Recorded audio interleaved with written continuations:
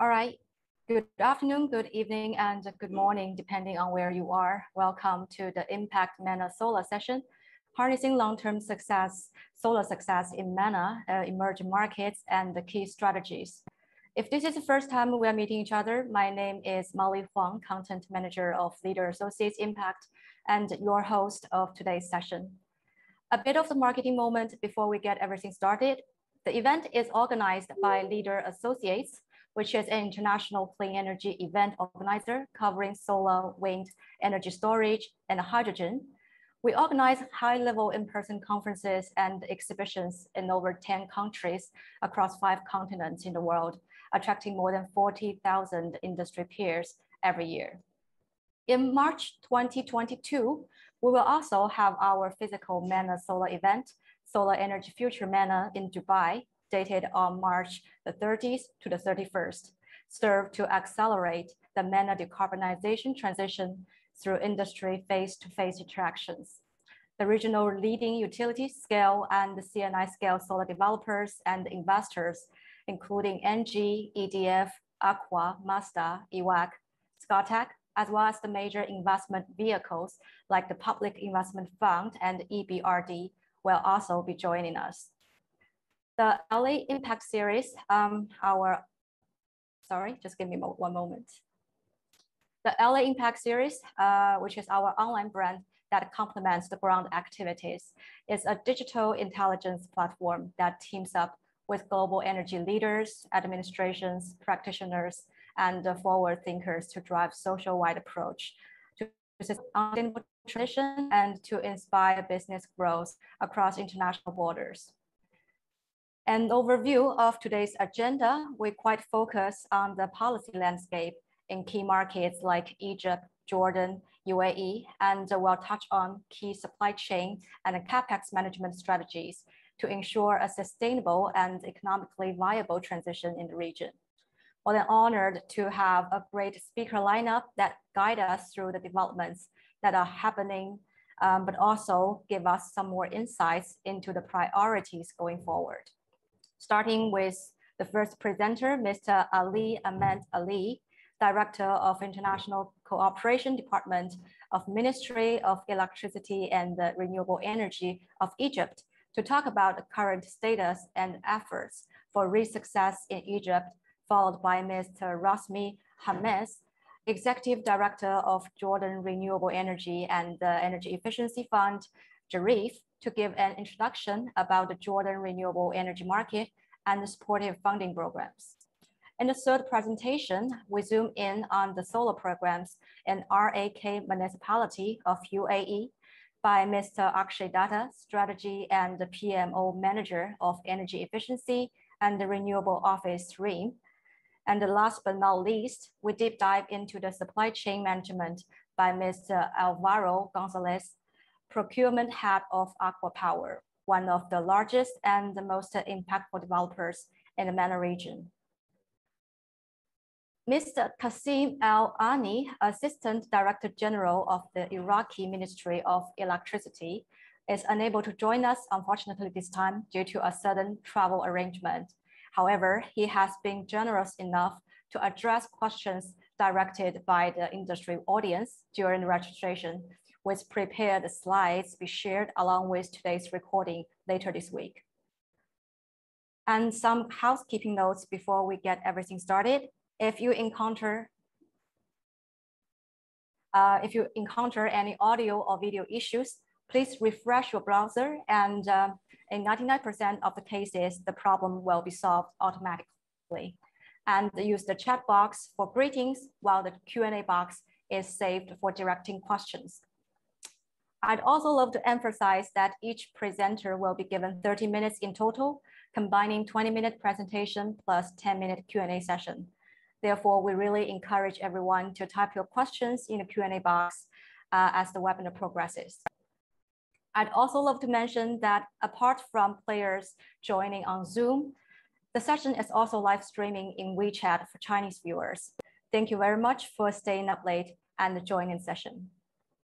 Now, um, without further ado, I'd like to invite out our first uh, speaker on stage, Mr. Ali Ahmed Ali, Director of International Cooperation Department of Ministry of Electricity and Renewable Energy of Egypt. Since October uh, 2007, Mr. Ali has been working for the Ministry of Electricity and Renewable Energy under several departments featuring leadership international cooperation and agreements, as well as the development of technical planning and research. Over the past 14 years, Ali has also participated successfully in de developing about one gigawatt project portfolio of around 2 billion investments having roles in project and finance assessment, negotiation, fundraising, constitutional procedures, as well as planning and implementation activities. With great honor, um, let's welcome Mr. Ali Ahmed Ali on stage and get started our first opening presentation. Ali, can you hear me good? Thank you, Molly. Uh, nice to hear you. And it's my pleasure being with you here and thanks for the invitation. And uh, I wish we meet next year in, uh, in March, uh, as you mentioned, uh, in Dubai face to face so with all panelists and attendees. And wishing you successful presentations and successful events for today. Thank you so much for your kind support and encouragement. Um, it will be our pleasure to have you there. And also, uh, may you kindly share the screen to your side and perhaps do a bit more introduction about yourself, your department, then fire up your presentation. Okay. Uh, may I share my, my presentation now? Yes, please. Thank you. Yes, now the floor is yours. Thank you. Uh, my name is Ali Ahmed, uh, as mentioned by Ms. Molly. Thank you for the kind uh, invitation and the kind presentation. Uh, I will uh, show you the current status and efforts uh, for Egypt renewable, renewable thrive, and I'll give you a brief about the energy sector in Egypt. this, this will take us, I may just show my screen clearly. Uh, the contents of my presentation will include the electricity sector until 2014 in Egypt and the challenges met uh, the sector of electricity and energy in Egypt and the solutions made to overcome these, uh, these challenges. And then I will show the current situation of electricity and renewable energy in Egypt, uh, followed by the updated electricity and renewable energy sector vision and mission uh, uh, under the strategy of 2035 uh, that's set by Egyptian electricity sector.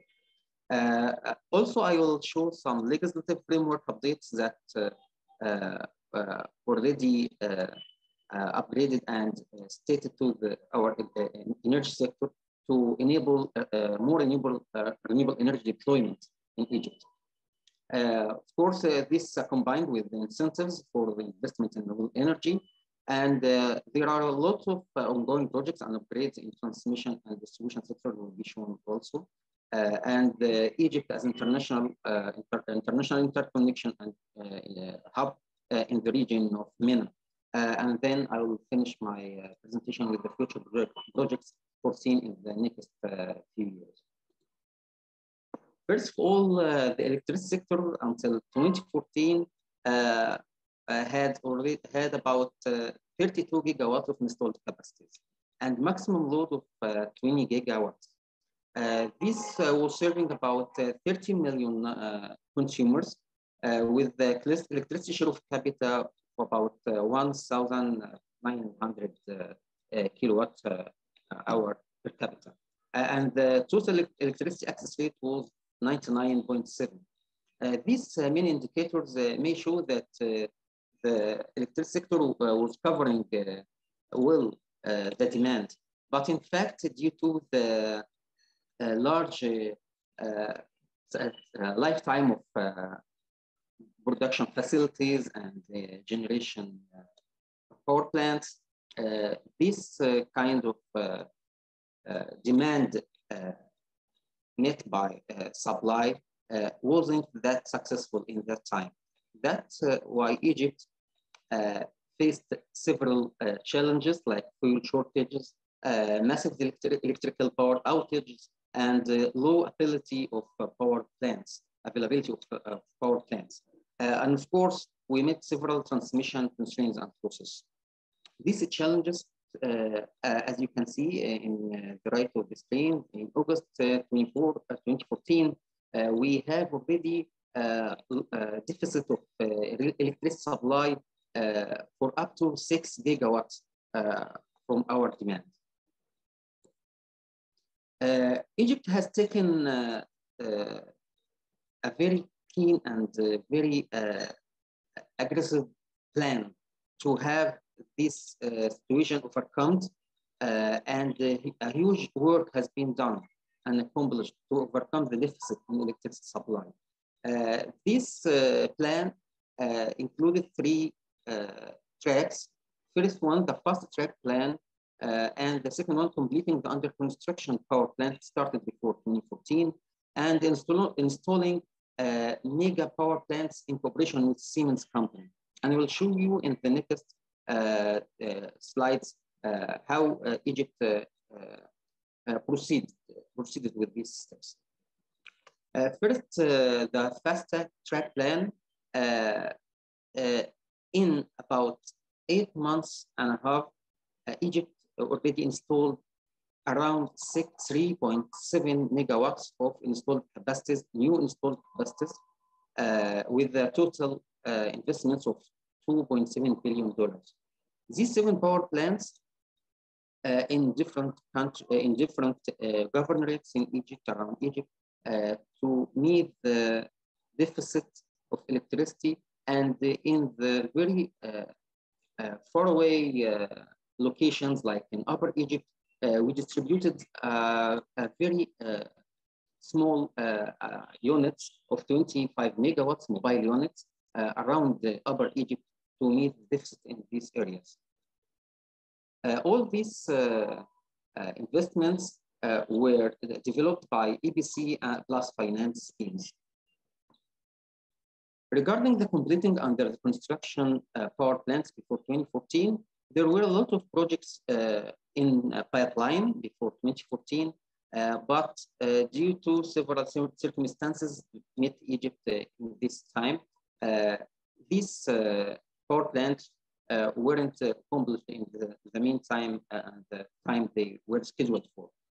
but after 2014, Egypt make it fast to deploy the, and install the planned projects for electricity generation and already added capacities in a one year from January to December 2015, uh, completed uh, from the fast track plan and the, the already planned uh, uh, power plants before 2014, around six giga, seven gigawatts from conventional energies and renewables.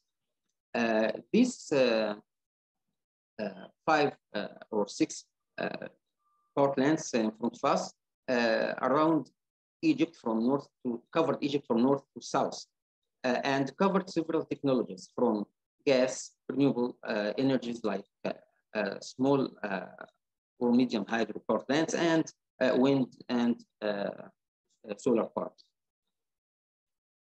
furthermore, Egypt installed the three mega projects in cooperation with Siemens company. the electricity Egyptian electricity and renewable energy sector succeeded with Siemens to establish three megawatt projects of total capacity 14.4 mega uh, thousand megawatts uh, in 2.5 years. Uh, this, uh, as you can see, uh, around 45% of the installed capacity in 2015. And uh, by the end of 2015, all these capacities came on grid. And also they were financed by EPC plus finance uh, for about uh, 6 billion euros. The added installed capacities uh, from 2014 to 2020 already doubled the installed capacities in Egypt in 2014. And as you can see, we already added 28.2 uh, gigawatts from different uh, technologies uh, from December 2014 until uh, October 22 to have an installed capacity uh, becoming around 60 gigawatts this year. Here is generation performance that, that, that already uh, plan, uh, planned and already uh, accomplished plans succeeded in Egypt. You, as you can see that no load shedding after 2015 in June. Uh, and before this time, uh, a lot of uh, sheddings has been faced by Egyptian sector and demand that was very Uh, critical to be covered, uh, but the deficit of electricity uh, wasn't covering it that good. Uh, the current situation after uh, installing the, the fast track plan and uh, finishing the planned projects and having a new strategy in Egypt up, to, up, up to 2035, we can we can see that the installed capacities come to uh, 6 gigawatts and the maximum load uh, increased to 33 gigawatts uh, and the number of consumers increased from 30 to 38 million uh, beneficiary from electricity service and access to electricity.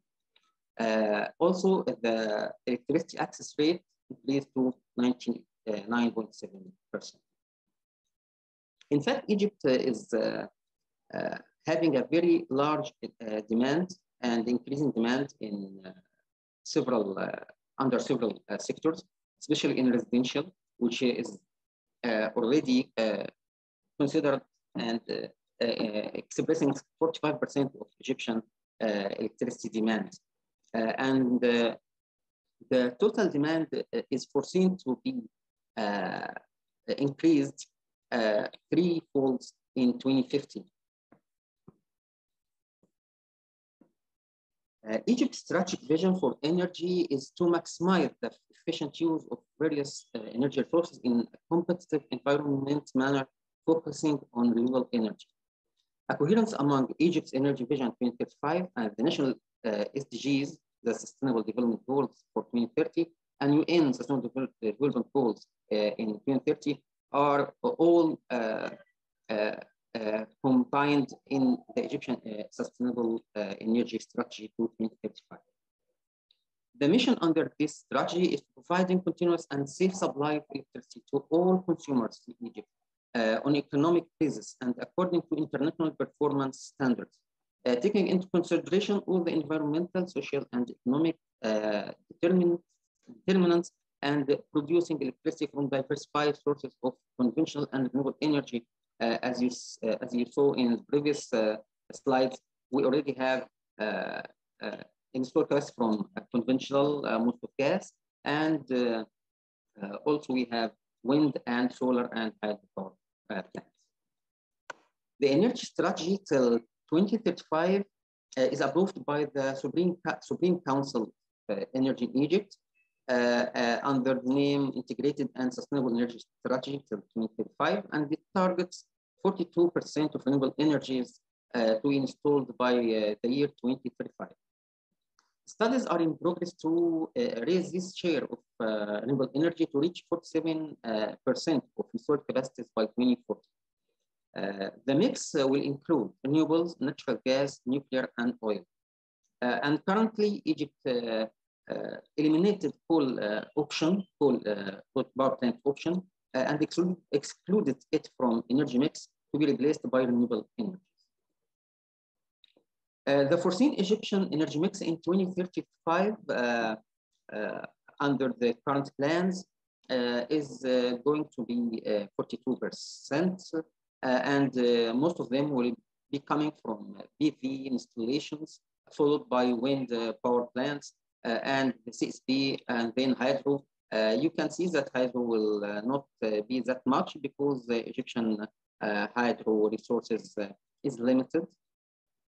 and of course, as you can see, the energy strategy eliminated coal option from the mix.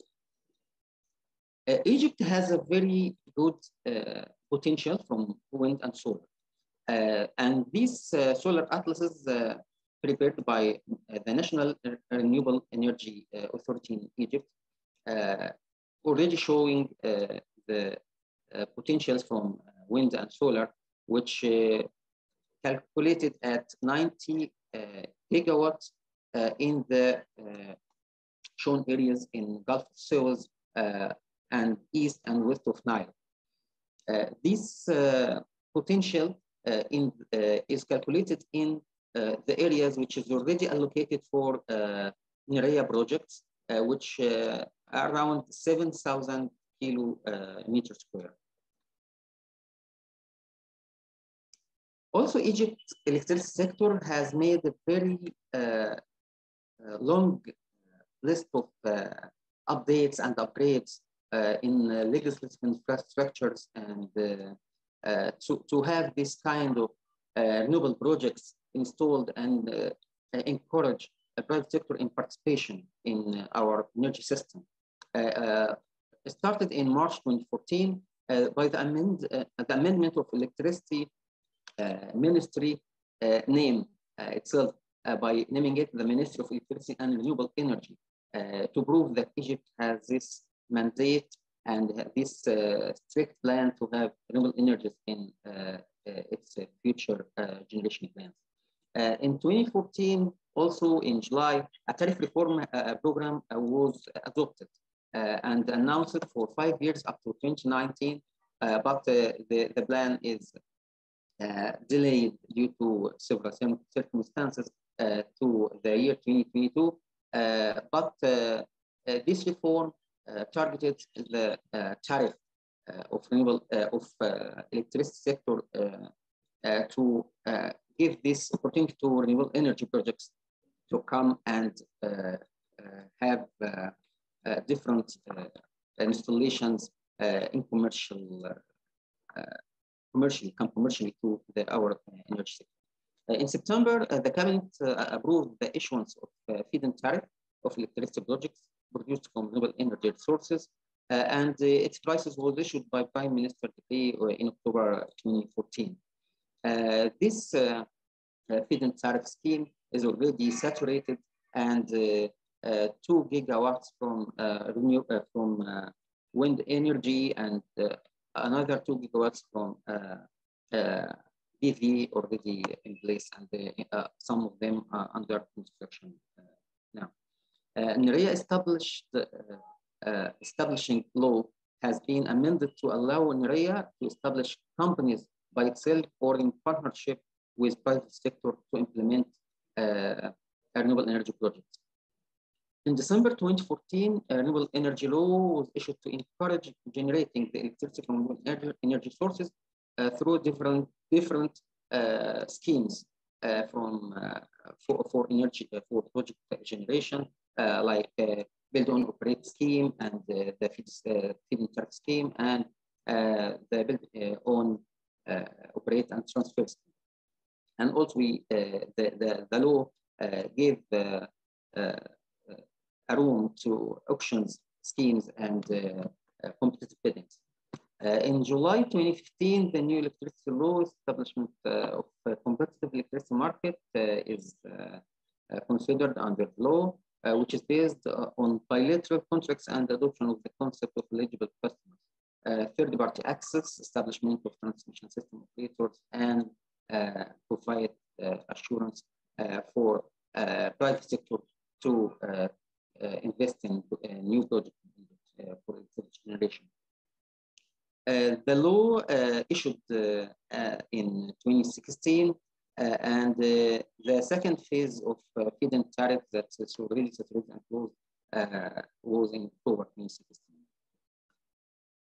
Uh, the law uh, gives several incentives for investments uh, in renewable energy in Egypt by considering the renewable energy in our energy system strategy until 2035 to encourage private, investments.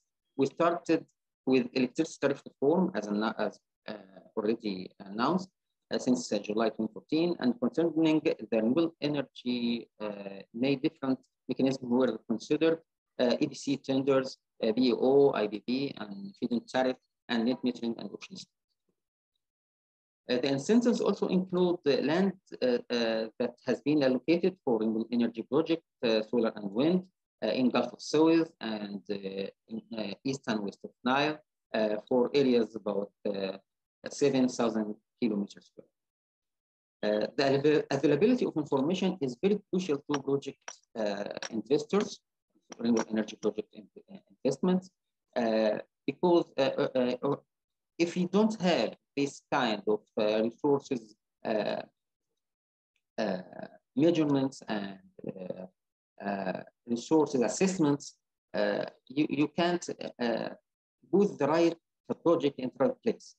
That's uh, why Nerea uh, insisted on having this solar and wind emphasis for Egypt, all over Egypt, uh, and make it uh, available for investors uh, to make it easy for them and to become a, a very clear and affordable document available for investors to help them make the decision of investment. Also, we have the environmental impact assessment studies in place uh, by uh, in the uh, allocated areas. Uh, long-term uh, uh, bankable uh, purchase and agreements and the network connection contracts already in place too. And the custom duties for all important materials and equipment don't exceed 2% for renewable energy component. Uh, sovereign guarantee issued by Ministry of Finance to give this kind of guarantees to investors uh, to come uh, to invest in renewable energy in Egypt. Uh, for the wind energy, uh, uh, for the current situation, Egypt established already 1.3 gigawatts in Gulf of Zayt wind farms and Zafarana wind farms. And some of these projects is already old and need to be uh, Uh, renovated and uh, upgraded uh, now. And Egypt will uh, uh, cooperate soon with several development partners and private sector to have new projects in these areas beside the renovation and upgrade of the already installed capacity from wind energy. Uh, Egypt, a uh, few days ago, in, in uh, 4th of October, has signed a 500 megawatt uh, uh, project uh, in Gulf of Suez with the consortium of ENGIE, Toyota, and Orascom. and there were already signed power purchase agreement with Lekela Power in Gulf of Suez of 250 megawatts. Uh, and now the under implementation wind energy project is about uh, 7.5 gig, uh, 750 megawatts from wind energy. Regarding solar energy, uh, there are uh, 32 signed power purchase agreements. Uh, in fact, all these uh, power purchase agreements in uh, uh, Benban location in our Egypt and the interim president of the World Bank group, Kristalina Georgieva, announced that the Benban solar project in Aswan won the best project prize worldwide in 2019. Uh, and this uh, project uh, is uh, the, the, the proof of uh, the Egyptian uh, electric sector of involving the private sector in renewable energy and encouraging them to come to invest in renewable energy in Egypt. that because these 32 projects are from private sector and installed 1.5 gigawatts from PV technology. And the project area uh, covered uh, 37 kilometers square, and uh, the total investments for this project was more than $2 billion. dollars. and this project already offered more than 10,000 job opportunities. Uh, regarding the hydropower generation in Egypt, uh, we already have six power plants uh, of total installed capacity 2.8 uh, gigawatts. Uh, the largest one of them is the high dam of 200.1 megawatt, and the other uh, barrages and reservoirs uh, in Aswan. Also, uh, they are in Upper Egypt. representing the hydropower in Egypt, and it's already installed Uh, since uh, a long time ago, in 1960, uh, from, uh, for the high dam, and uh, several upgrades and uh, modernization projects already implemented on these power plants from hydro, and they are working in our system. so the current renewable energy situation from wind and solar PV and CSP and hydro uh, already uh, comprising uh, 5.8 gigawatt, which is repre representing 10% of total renewable energy installed in Egypt. Uh, the coming uh, projects in Egypt for uh, renewable energy and the nuclear are part of our renewable of our energy strategy for 2035. Egypt is plan, planned Uh, to have uh, 4.8 gigawatts from uh, nuclear power plants in Dabaa, with investments for about 21.3 uh, billion dollars, uh, and already contracted the Rosatom from Russia, uh, and it's foreseen to be in commissioning in 27 to 2030 because the project will be developed in 1.2 gigawatts every year to be on grid. Uh, and then uh, we have also the Ataka bomb storage power plant. Uh, it's about eight units, each one, each one representing uh, 300 megawatts. Uh, it's a bomb and storage uh, power plant of total capacity 2.4 gigawatts and uh, investment cost around 2.6 billion dollars uh, and is, is contracted with Sinohydro from China and the project will be is foreseen to be implemented in next years. Egypt didn't uh, forget the upgrading of transmission grid. That because uh, the deficit in 2014, as uh, already discussed, part of it was the transmission grid, which was not that uh, affordable and uh, in good situation to uh, cover the demand and evacuate the already generated capacities to the demand side. And then Egypt started to have new control centers to upgrade the transmission grid and they have new transmission network expansion of 500 kilovolts uh, and also uh, new substations construction. Uh, uh this, uh, uh, this slide is showing the control centers Uh, before 2014 and the other ones uh, under implementation and the completed uh, there, there are uh, around 11 uh, uh, control centers around Egypt and a lot of upgrades in cooperation with the development partners are ongoing. For the 500 kilovolt transmission network and the substations, Egypt already added more than 3,000.6 kilometers uh, of uh, uh, of uh, uh, cables for transmission network, which around 1.5 times the existing length in 2014 and already added 30 uh, substations with total capacities of uh, 44.2 uh, megavolt ampere, more than four times existed in 2014. Uh, regarding the modernization of distribution control centers, actually the project for the establishment and development of control centers of electricity distribution companies uh, uh implemented uh, uh, under four phases. and the first phase targeted 12 control centers and is foreseen to be finished by 2021. And the total plan uh, for the modernization of distribution control centers is foreseen to, uh, to be finalized by December 2024. Uh, and they will be, there will be around more than 30 control centers around Egypt serving the. Uh, also, Egypt, uh, under its uh, under its strategy, consider the interconnection with neighbor countries as a very considerable factor. that Egypt location gives it the privilege to be an energy hub for international interconnections and corridors uh, in MENA and uh, uh, in MENA region and to Africa, also to Europe.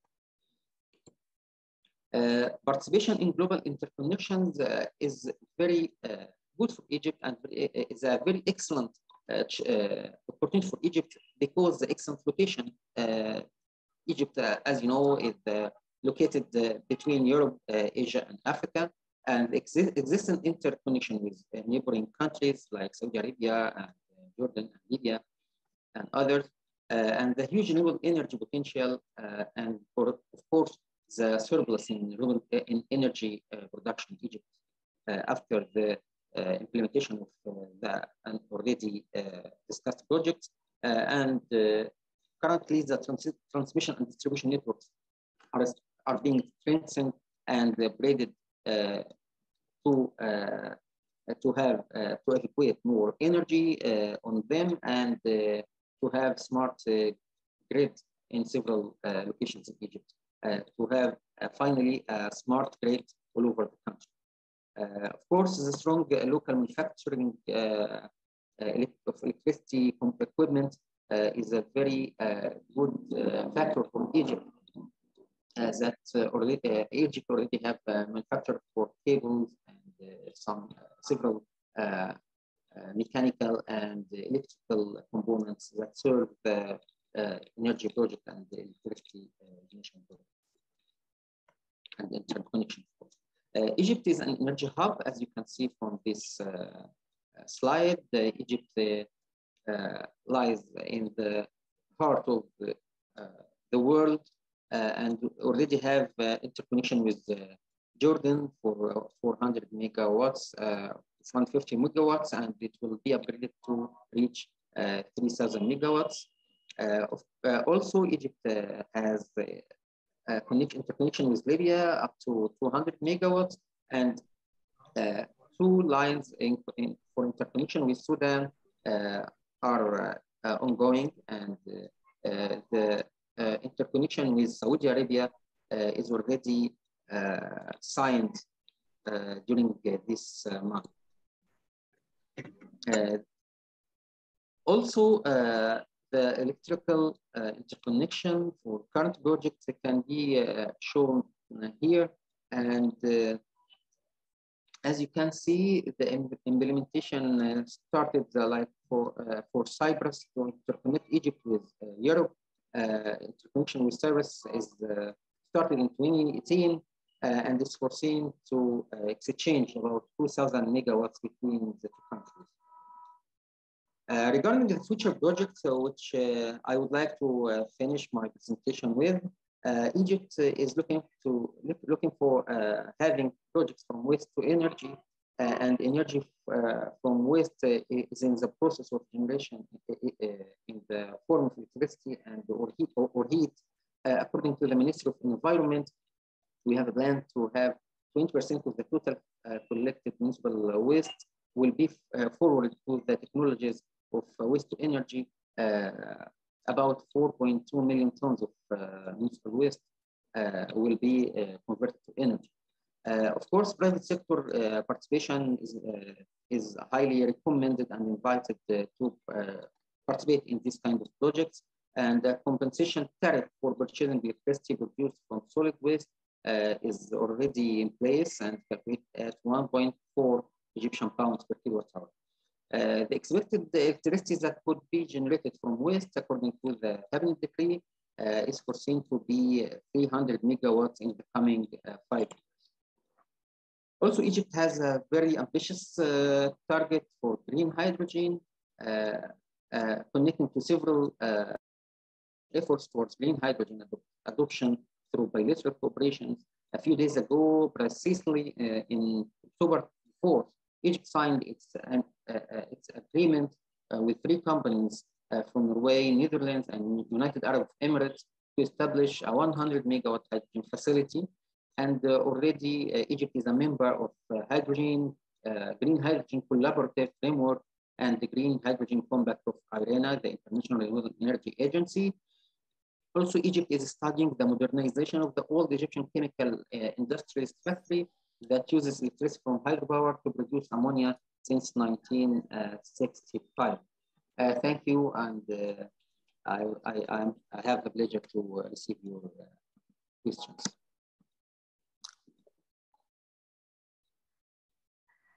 Okay, thanks, Ali, for this generous and comprehensive overview of Egypt's real landscape.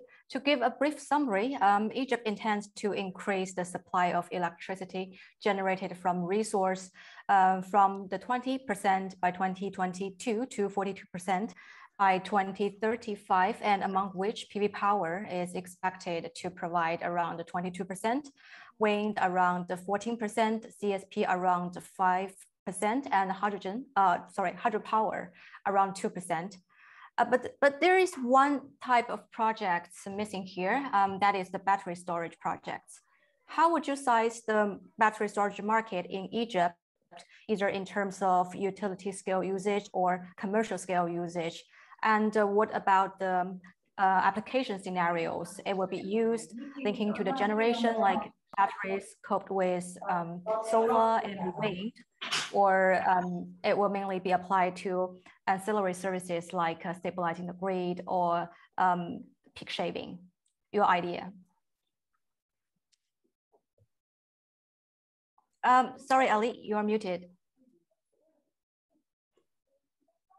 Uh, actually, uh, for uh, uh storage in Egypt uh, is already planned for small projects, not for, not for the utility projects with mega mega production uh, from PV or wind or other renewable energy uh, energy technologies. Uh, of course, because of the cost, and Egypt is looking for this kind of storage in through the in exchange of electricity with neighboring countries.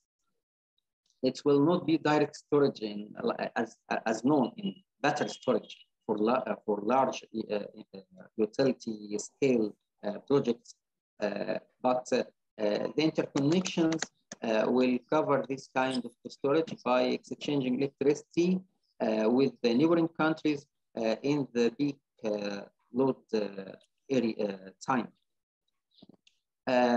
of course, the storage is very crucial for renewable energies and for the the intermittence uh, uh, the, inter the intermittence, uh, let's say, uh, uh, sorry, I missed that. I, I, I missed the word. Uh, the intermittent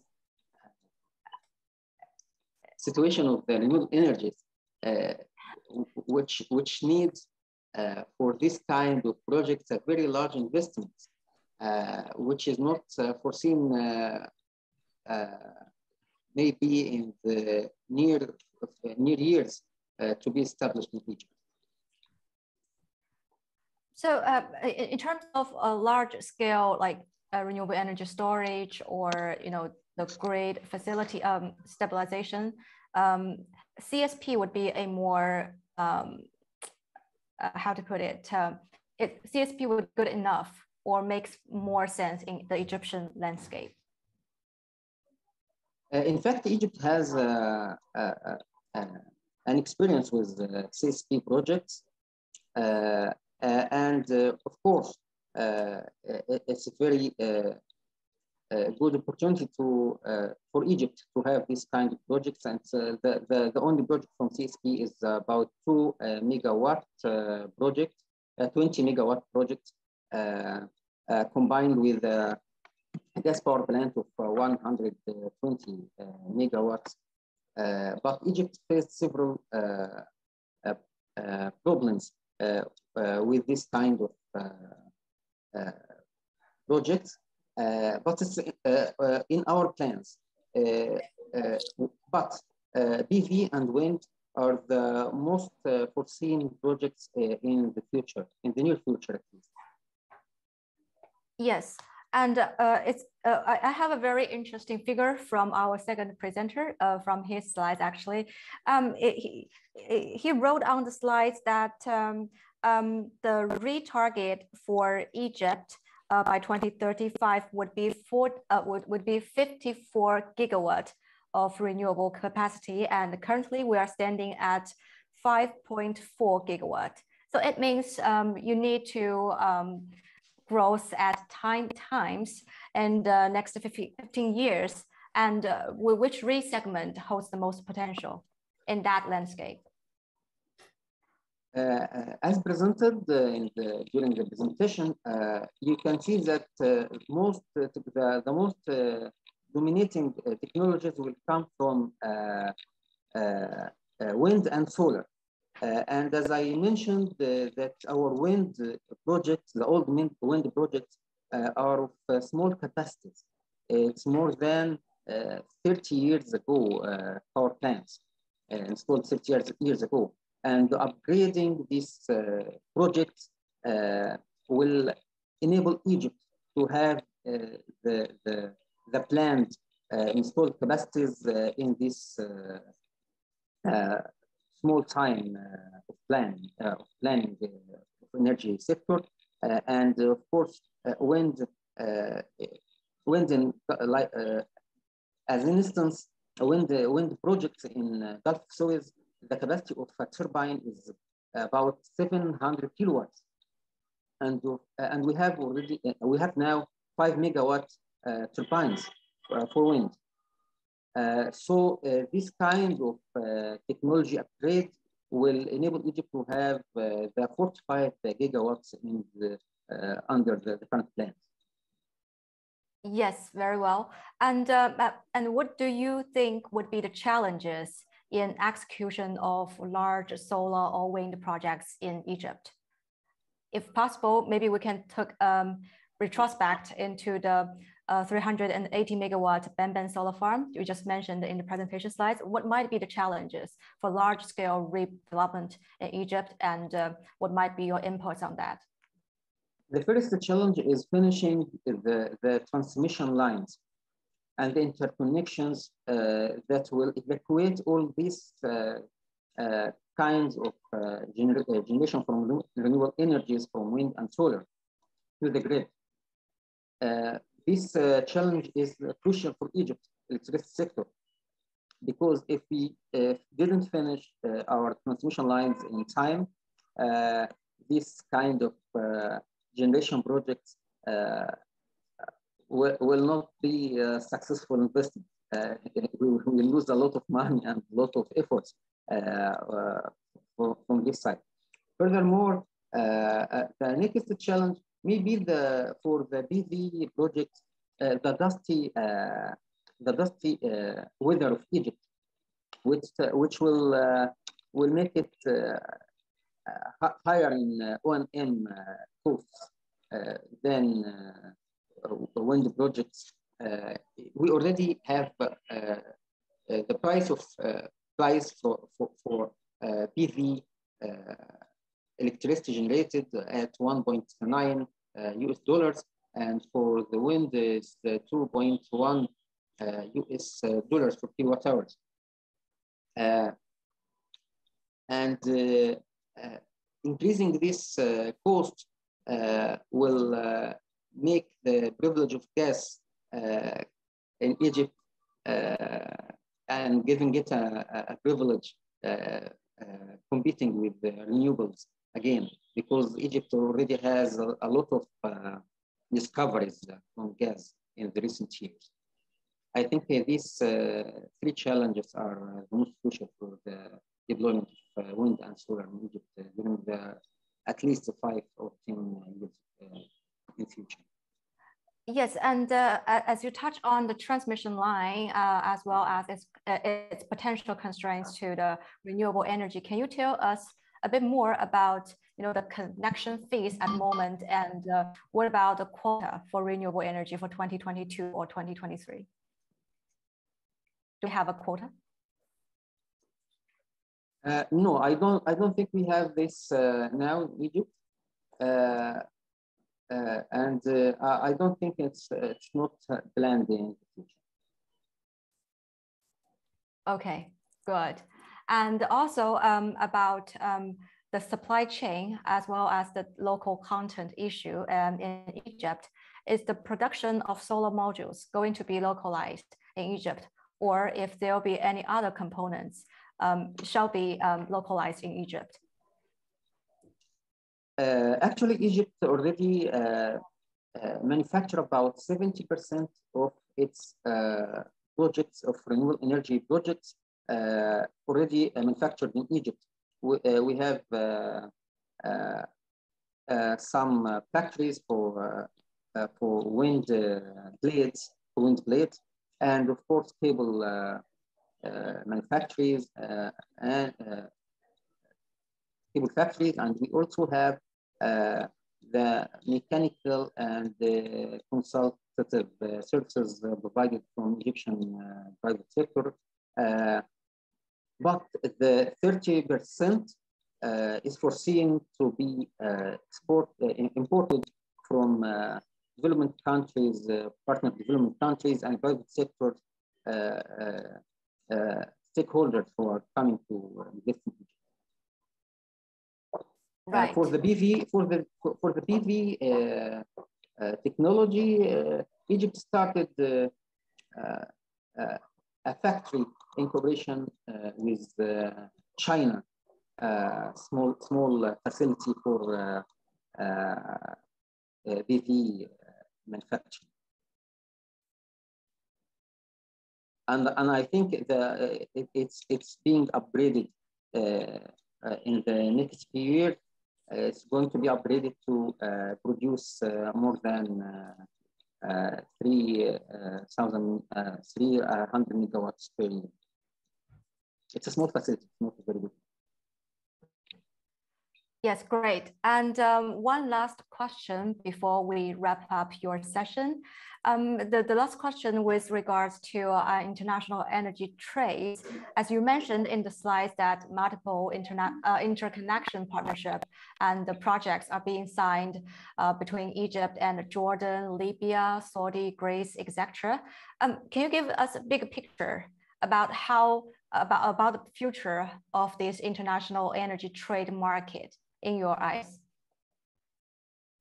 Uh, in fact, Egypt is starting targeting uh, uh, to export all, uh, all the surplus to the neighbor countries and uh, Europe, Europe precisely because during the last few years, we already signed several interconnection uh, agreements uh, and uh, already we have this uh, project for uh, interconnection with Greece, uh, Cyprus, and to Europe.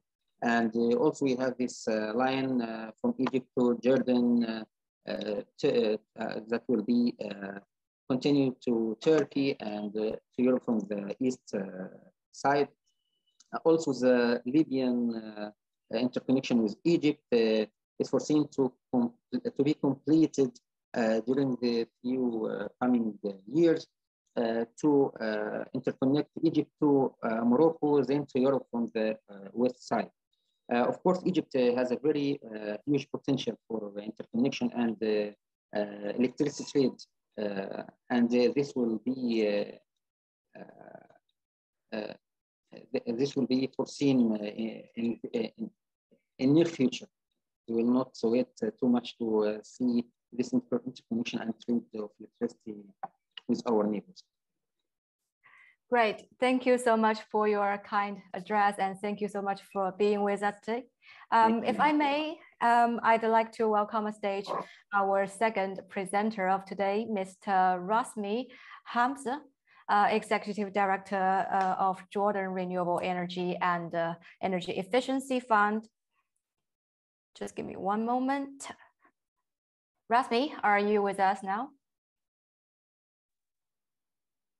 Uh, hi, Muli. Yes, um, so I, I will firstly do a brief introduction about you. Um, Rasmi has 25 Thank years you. of professional experience as a business development consultant of different sectors. In the past five years, uh, he has transformed JREEEF from being a component of the REEE law to becoming a real operating efficient national level government organization. He designed JREEEF's strategy and plans, also coordinated efforts with international donors, organizations, NGOs to help Jordan address some of the, some of the biggest climate change challenges. And without further ado, uh, I think we will be driving the slides for you, Rasmi, right? That's good. That's fine. That's fine, Molly. Thank you. Thank you. And uh, uh, thank you, uh, uh, Mr. Ali from Egypt. Uh, it's very nice presentation and wishing you all the best. Great. Um, I think we can get everything started um, as the slides all right. on the screen. That's that's good. Thank you, Molly. Just let and, me know when you want. Just let me know when you want to switch to the next slide. Uh, all right. Uh, also, I can manage uh, by myself uh, the slides from my side. But uh, please, uh, yes, it's wonderful if you can show the slides for the audience from your side. This is good because this is, will facilitate me. and I will manage from myself as well on my slides. All right. Okay, Molly. Um, uh, as you know, uh, uh, Jordan uh, really uh, uh, has had developed, you know, um, a success story in the past six years in terms of renewable energy and energy efficiency framework. And since 2012, uh, where the laws uh, being issues for renewable energy and energy efficiency issues, um, Jordan start uh, really um, uh, um, uh, start is uh, let's say a proactive actions to implement a comprehensive strategy for renewable energy in Jordan. And this is uh, uh, included uh, into the bylaw frameworks as well as policies. And, and this is also being comprehensive to include all the uh, sectors in Jordan, uh, uh, as well as to manage all the traditional fossil electricity sources like use Jordan to depend on. And uh, so in 2015, uh, the bylaw uh, and laws being issued and to organize all renewable energy transition uh, process and strategies, uh, as well as uh, Jordan Renewable Energy and Energy Efficiency Fund being established.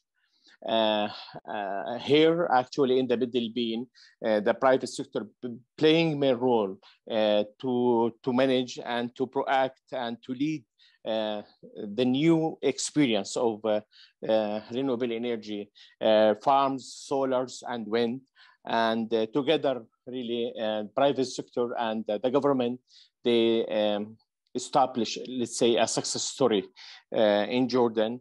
And since that time, in 2014 uh, till 2020, uh, now uh, uh 2,200 uh, megawatt uh, on the grid.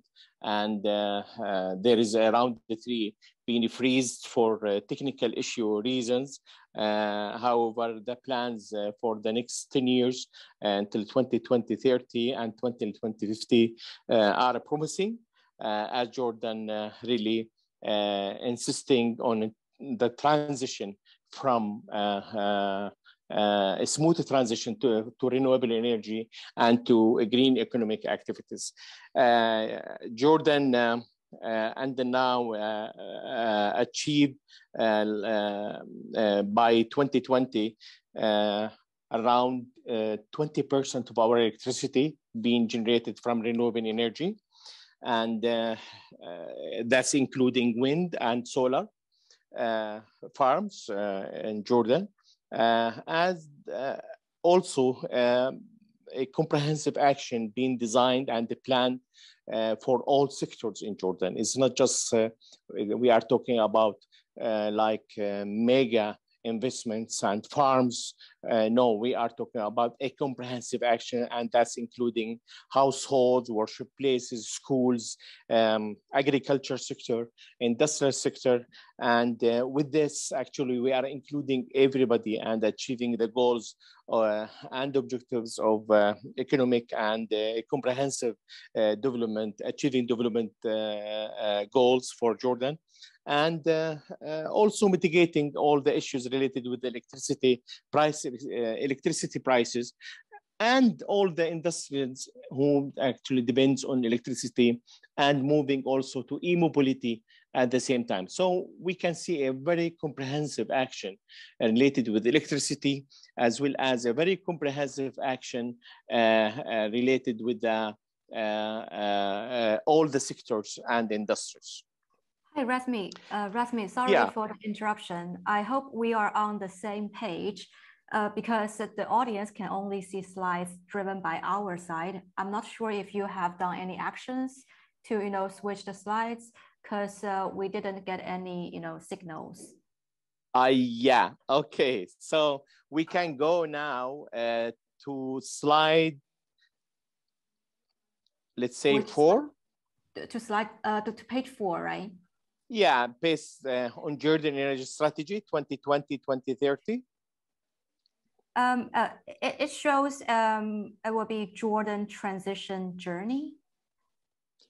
Yes, Jordan solar energy and yes. uh, based on Jordan energy strategy. And uh, let's say this is, uh, uh, this slide is number Number four. Number four, exactly. All right. Okay. Okay, no problem. And uh, please okay, let, so let us know if you are moving on to the next next page. All right, I will let you know. I thought uh, that's uh, uh that you are walking ready with me uh, on the slide. Okay, so Jordan, uh, let's say establish all the rules, regulations, as well as build the fund in order to follow up this issue. What's important and impressive with Jordan experience here really is uh, that Jordan um, built really a framework of uh, uh, uh investments, uh, around investments, uh, around one, two, and three. the framework of accomplishing these investments nationally and internationally been really a good experience for Jordan to accomplish a transparent process for implementing uh, mega investments in Jordan. Uh, what also been interested here, that's all the international funding and uh, let's say commercial international uh, uh, banks uh, being on board of uh, financing this local banks being also on this and central banks supporting for the interest rate issue for special interest rate for the renewable energy jordan renewable energy and energy efficiency fund which is i i am I'm working as executive director for so we can go to the next slide. uh, uh, really played main role of uh, uh, making, uh, let's say, success story for Jordan in a transition on different sectors, not on mega investments. So that you can see that Jordan really uh, uh, sitting on the second uh, after Egypt in terms of um, in terms of categories scores for countries. you can see Jordan here as a second uh, uh, after Egypt in terms of market structure, in terms of policy framework, in terms of uh, institutional capacity, and in terms of finance and investments. So, and this is important, uh, uh, by the way, and this is uh, makes Jordan really um, in hierarchy for the, the slide after that okay, uh, after Saudi Arabia, Egypt, Algeria, Morocco, UAE. So Jordan will be also uh, ranking uh, of achieving um, 15% by 2025 of uh, total energy mixed. Next slide.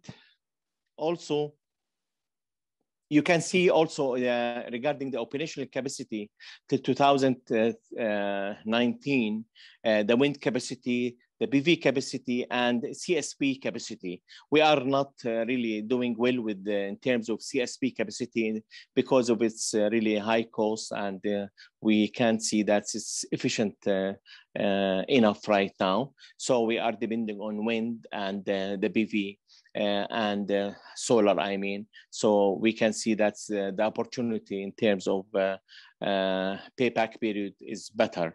The slide after uh, uh, always uh, regarding the solar energy, we are uh, relying on the prices and technology. So we have problem, by the way, on the grid in Jordan. We have a limited capacity of the grid, uh, so that we always uh, can really receiving a very limited capacity of renewable energy. And this is one of the many problems of developing the grids in Jordan.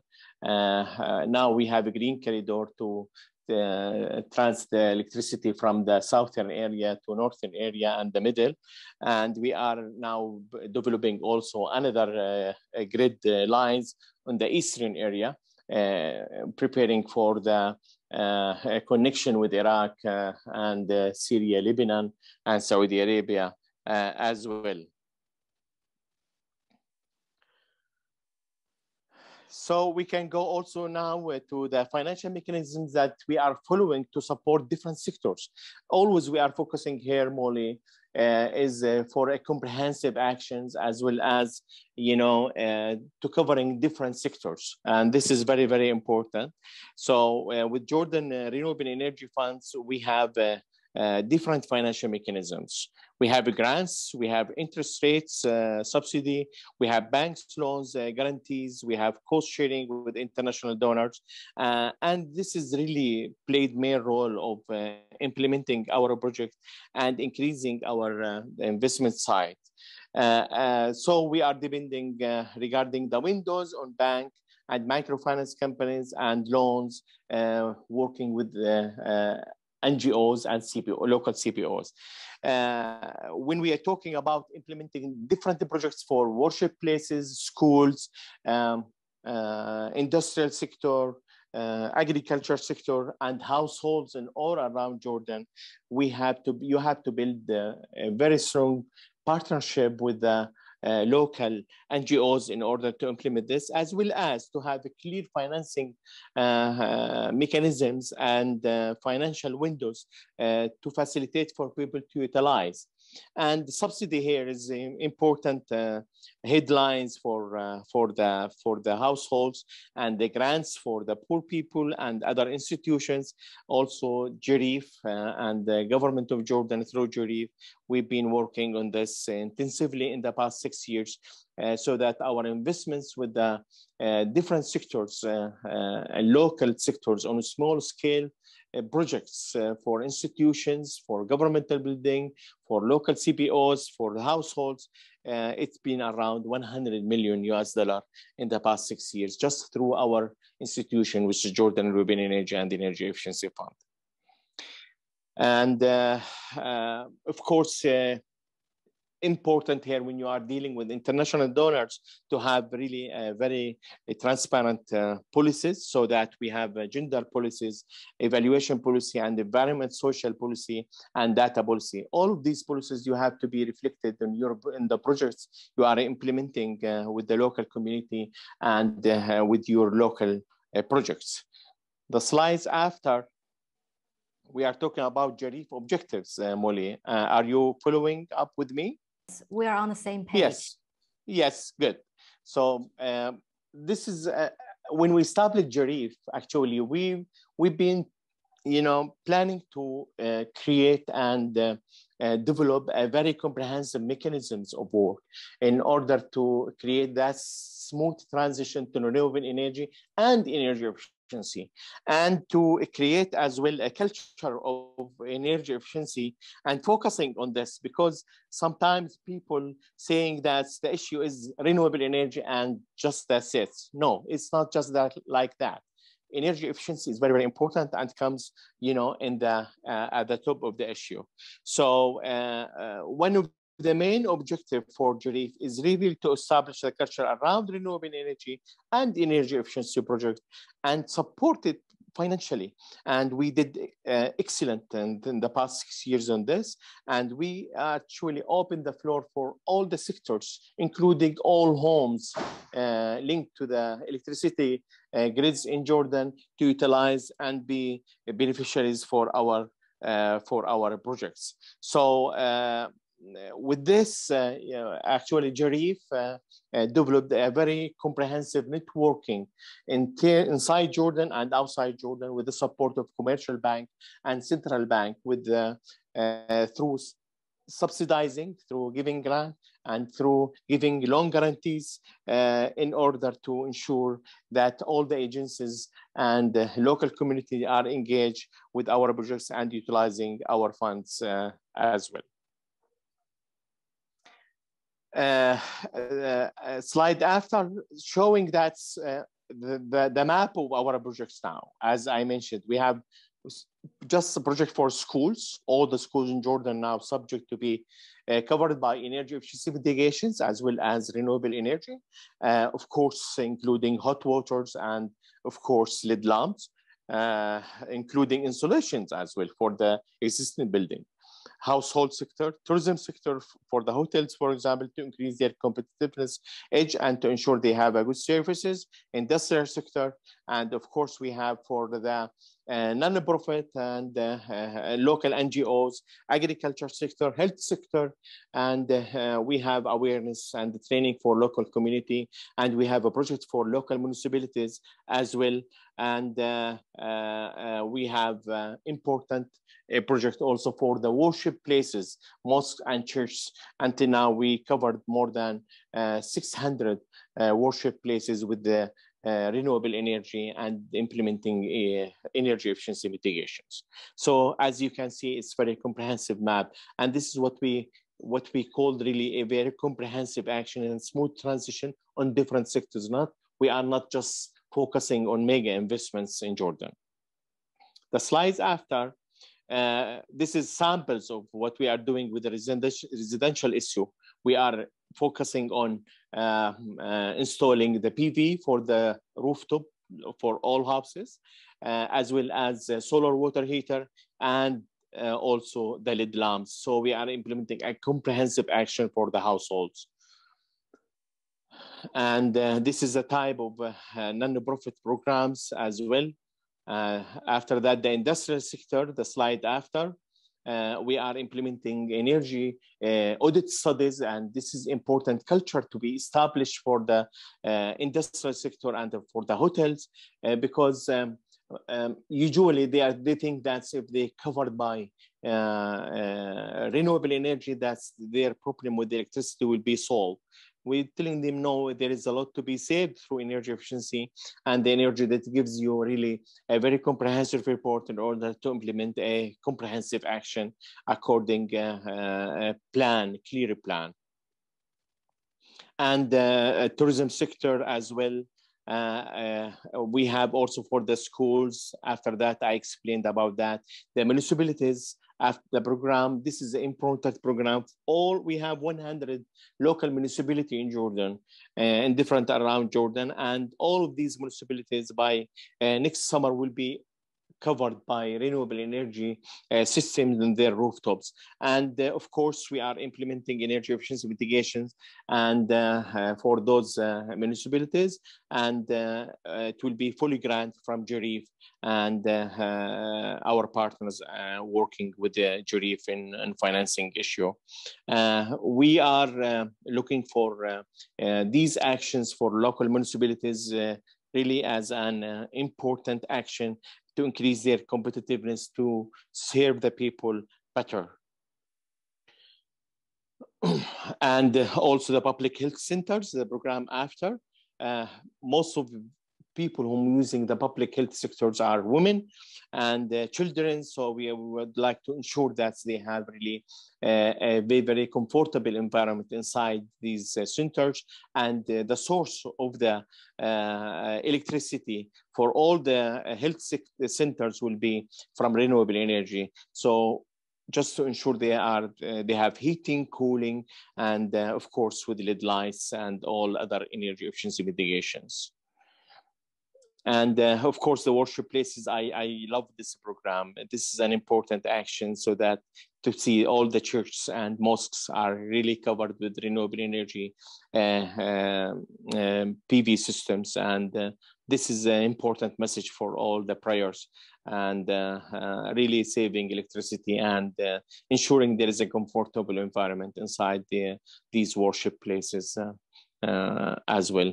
Agriculture certainly is very important. As you know, uh, the challenges now with, with, the climate change is really water and uh, food issue. So we are focusing on all the uh, water saving uh, measurement uh, and solar system for the farms in order to ensure that really it's mitigated and they are utilizing all the technology needed with this. And this is important project for, for JREEEF.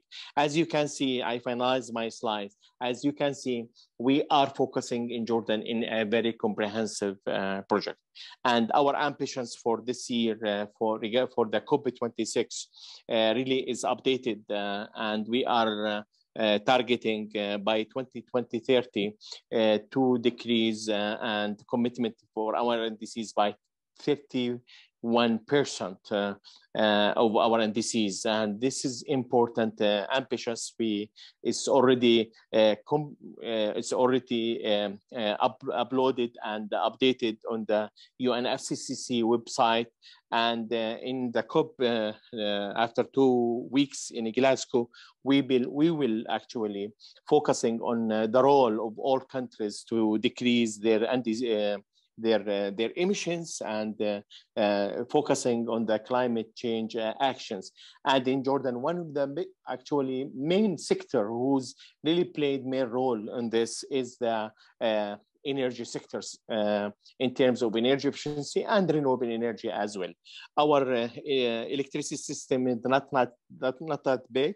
Uh, actually, uh, our peak is like uh, 4,200 uh, mega, not that big really. However, our system really, we're facing a, a, technical problem regarding the grid capacity so that our plans for renewable energy and mega investments looking forward for ambitious uh, targets, but uh, we need uh, side by side to build also our technical issue and our grid capacity in this regard. Uh, I, I, will stop here, Molly. And uh, if there is any questions, uh, I will be happy to, to, to answer. If there is any points need more information and to expand and give more also details, I will be happy to do that. Thank you.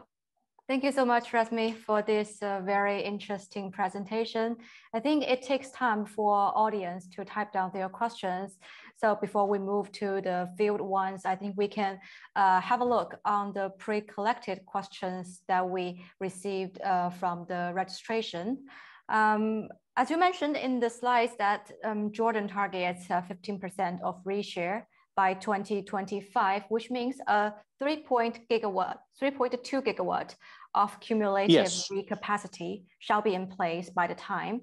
Um, how, how do you perceive the near-term prospects for grid scale and the C&I scale solar energy in Jordan, respectively?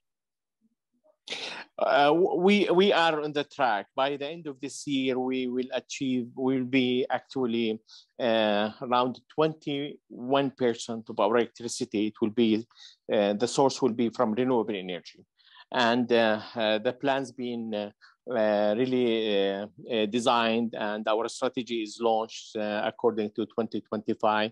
We will have 3.2 giga from our full capacity.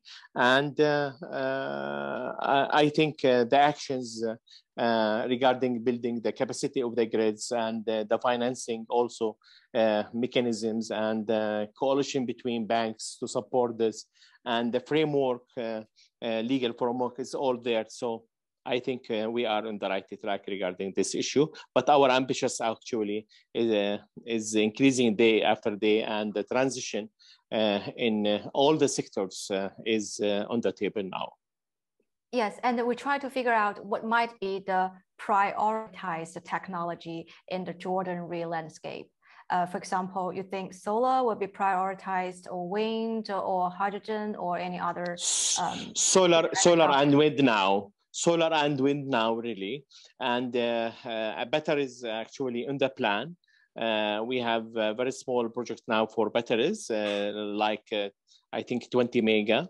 but there is a project for batteries on the plan now and under design for the next two years.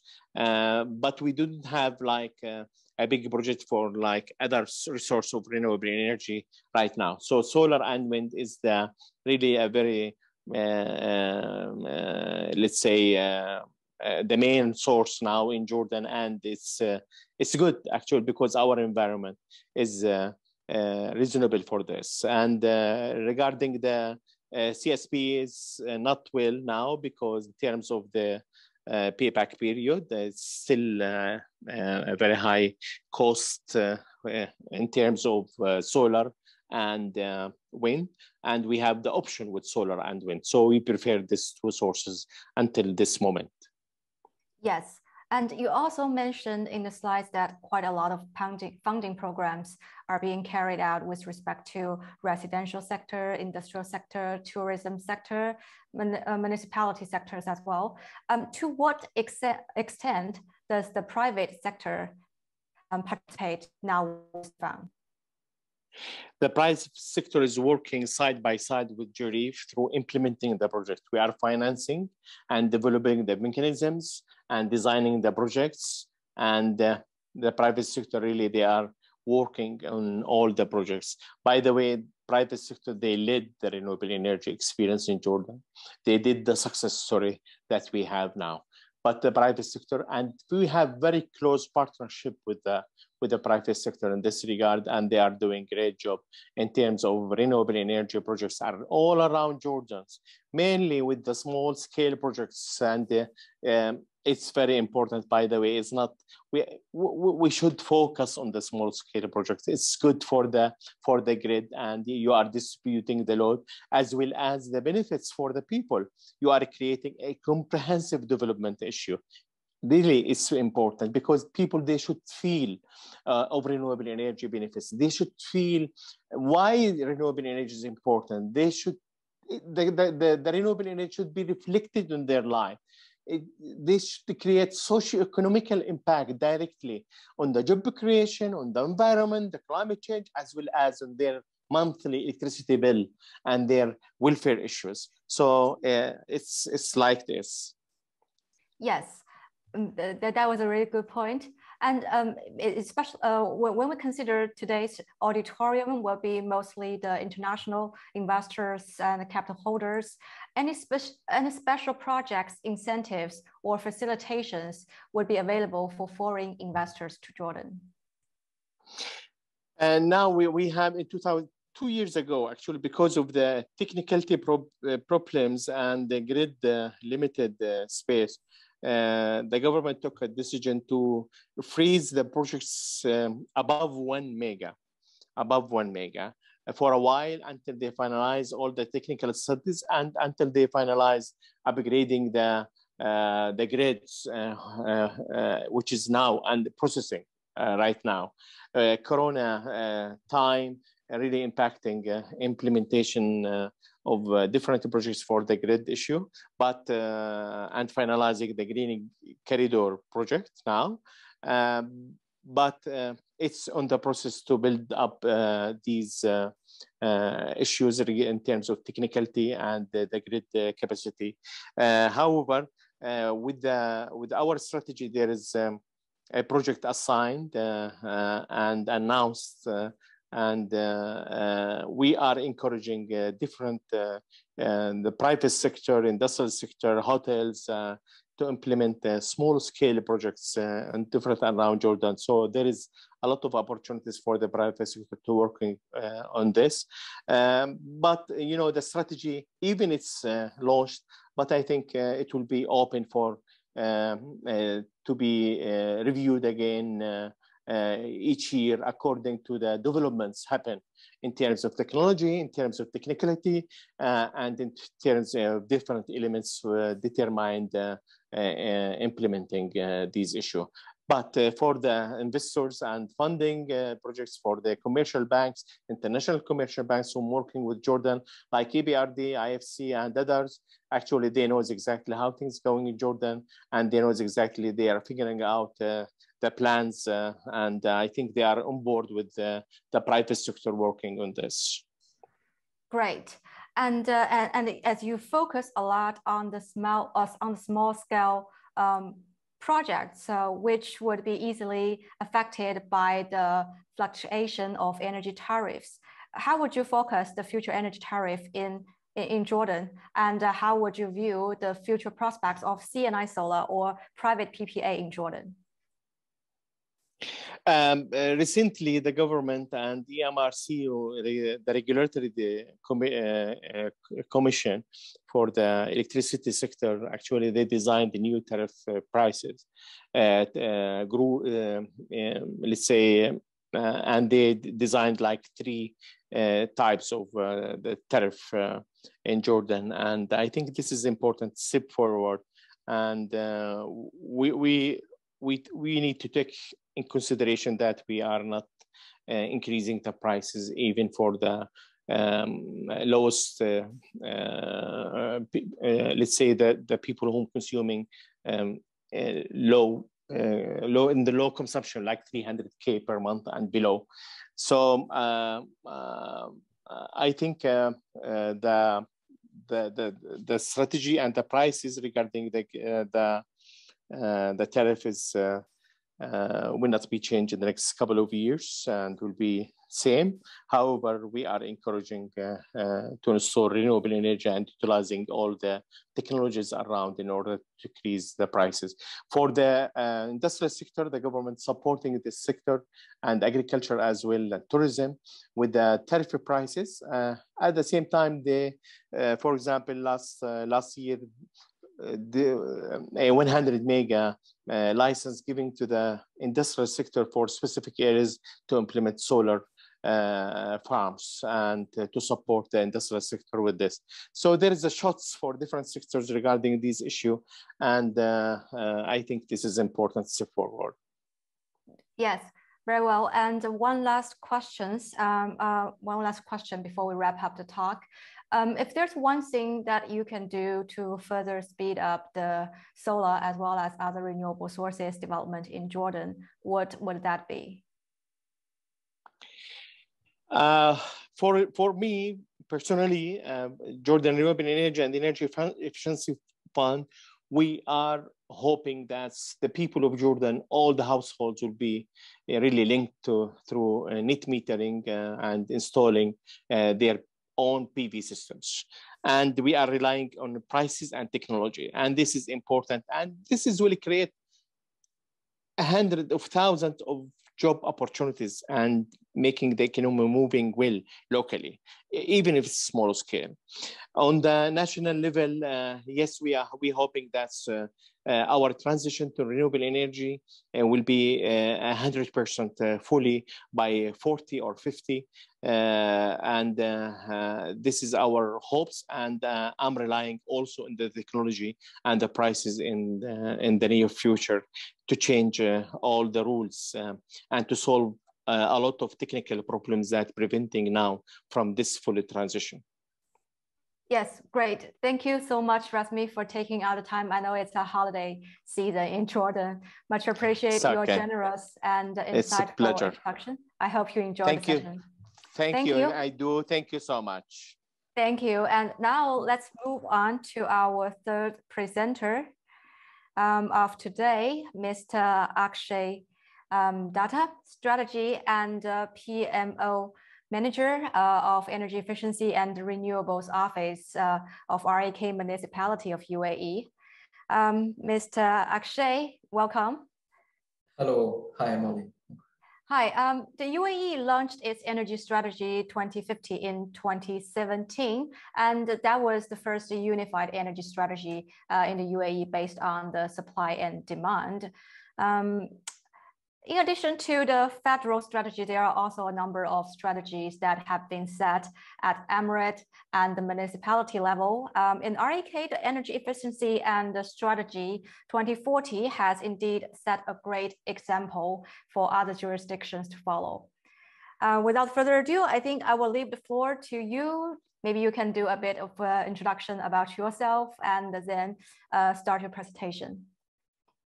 Thank you. Uh, thank you, Molly. Um, I will put up my, my slideshow. Uh, I hope this works. All right. Right. Um, is it working? You can see my, my screen? I can see it. Okay, very good. Um, so uh, thank you for the introduction, uh, Molly. Um, uh, my name is Akshay. Um, I'm the strategy and PMO manager um, um, at the Energy Efficiency and Renewables Office of Ras Al Khaimah. Um, um, Ras Al Khaimah is one of the emirates of the UAE for, for those, uh, for, for the international viewers um, in this webinar. It's the northernmost uh, emirate um, and we are normally known for uh, tourism. We have very beautiful beaches, um, very beautiful mountains, uh, um, and we are a manufacturing hub of, of the UAE. We have a very strong uh, industrial uh, base here. Um, um, so for this kind of a, a place uh, like Ras Al Khaimah, um, along with, um, with the federal authorities in the UAE, when, when they launched and when they were preparing um, the energy strategy for, for the UAE, um, we were in parallel preparing our energy efficiency and renewables uh, strategy. Um, this is how we, we represent our strategy. Uh, um, it is geared more towards um, competitiveness um, and uh, competitiveness of the economy uh, that can be obtained through sustainability, through so uh, cost competitiveness of, uh, of the industry, of tourism, of, of commercial activity, um, uh, cost competitiveness of the economy overall, um, through sustainability. Uh, we do this through uh, several programs in the strategy that address different types of energy consumption. Um, more of our strategy is geared towards energy efficiency uh, than renewables. I, I, will take you through this very quickly. Um, uh, we have two programs, green building regulations and building retrofits that address buildings. Uh, we have had a lot of success with these programs. Uh, we uh, we launched our green building regulations, Barjeel, uh, in 2019. Uh, and we have more than 3,000 buildings now permitted under our green building regulations, which are um, more than 30% energy efficient compared to normal uh, conventional buildings uh, baseline of buildings constructed before before this. Um, uh, our building retrofit program has addressed uh, comprehensively, including uh, HVAC, lighting, uh, water heating, uh, insulation, uh, pumping, all kinds of energy consumption in the building, more than 50 buildings um, with, with a pipeline of more than um, 200 more buildings in, in, various stages of tendering, construction. Um, we have our third program of energy management, uh, which addresses uh, high energy users, um, such as the government itself, and also uh, large industrial companies. Um, we, through this program, promote uh, energy management practices, uh, such as energy audits, um, ISO 50001, um, and regular energy reviews and reporting um, to these energy users. We started with the government here and we have also been quite successful here. Um, in the next uh, two, three years, we plan to have most of the government entities in Al Khaimah certified to ISO 50001 standards. Um, then we have a program uh, for efficient appliances where we plan to promote um, efficient domestic appliances, uh, air conditioners, refrigerators, washing machines, dishwashers, etc to the public here. This, this program is led by uh, the Ministry of Industry in the UAE. It is led by a federal government entity in collaboration with us. Um, and uh, through their uh, body, uh, uh, through their agency called ESMA. Um, they have already set up uh, since a long time, since before our strategy, uh, several um, energy efficiency standards for different appliances. And now in partnership with them, we are promoting these appliances in Ras Al Khaimah. Programs five and six um, are for efficiency in, in uh, civic uh, municipal municipal services. Uh, so street lighting, um, making street lighting more efficient through, through LED lighting, smart lighting, um, and then uh, making our um, uh, wastewater systems more efficient, uh, collecting more wastewater, um, treating all of it, and then reusing it for irrigation, for industrial uses, um, for district cooling, for example, and, and promoting increased reuse um, is part of, of uh, our objectives for this uh, program. Uh, this program is managed um, or is led uh, mainly by the, the wastewater agency of Ras Al Khaimah. Um, then we have the solar programs, um, which are uh, quite simply to promote solar energy in Ras Al Khaimah, um, which I will talk about more today. Um, we have energy from waste program uh, led by the waste management agency in Ras Al Khaimah, um, which uh, tries to, to look for different um, energy outcomes for the waste streams in Ras Al Khaimah. Um, we have several projects under evaluation here also um, use of uh, alternative fuel derived from waste in the industries, you know, development of uh, biodiesels, um, uh, biogas projects uh, also. Um, and lastly, we have a program for efficient vehicles. Uh, this program is, is led by the utility company here, Etihad Water and Electricity, which is also a federal government entity. Um, where we, together with the federal utility company, install charging stations, uh, create standards for EV charging stations, um, and also we have set up an incentive program to, to incentivize um, vehicle owners to purchase uh, electric vehicles.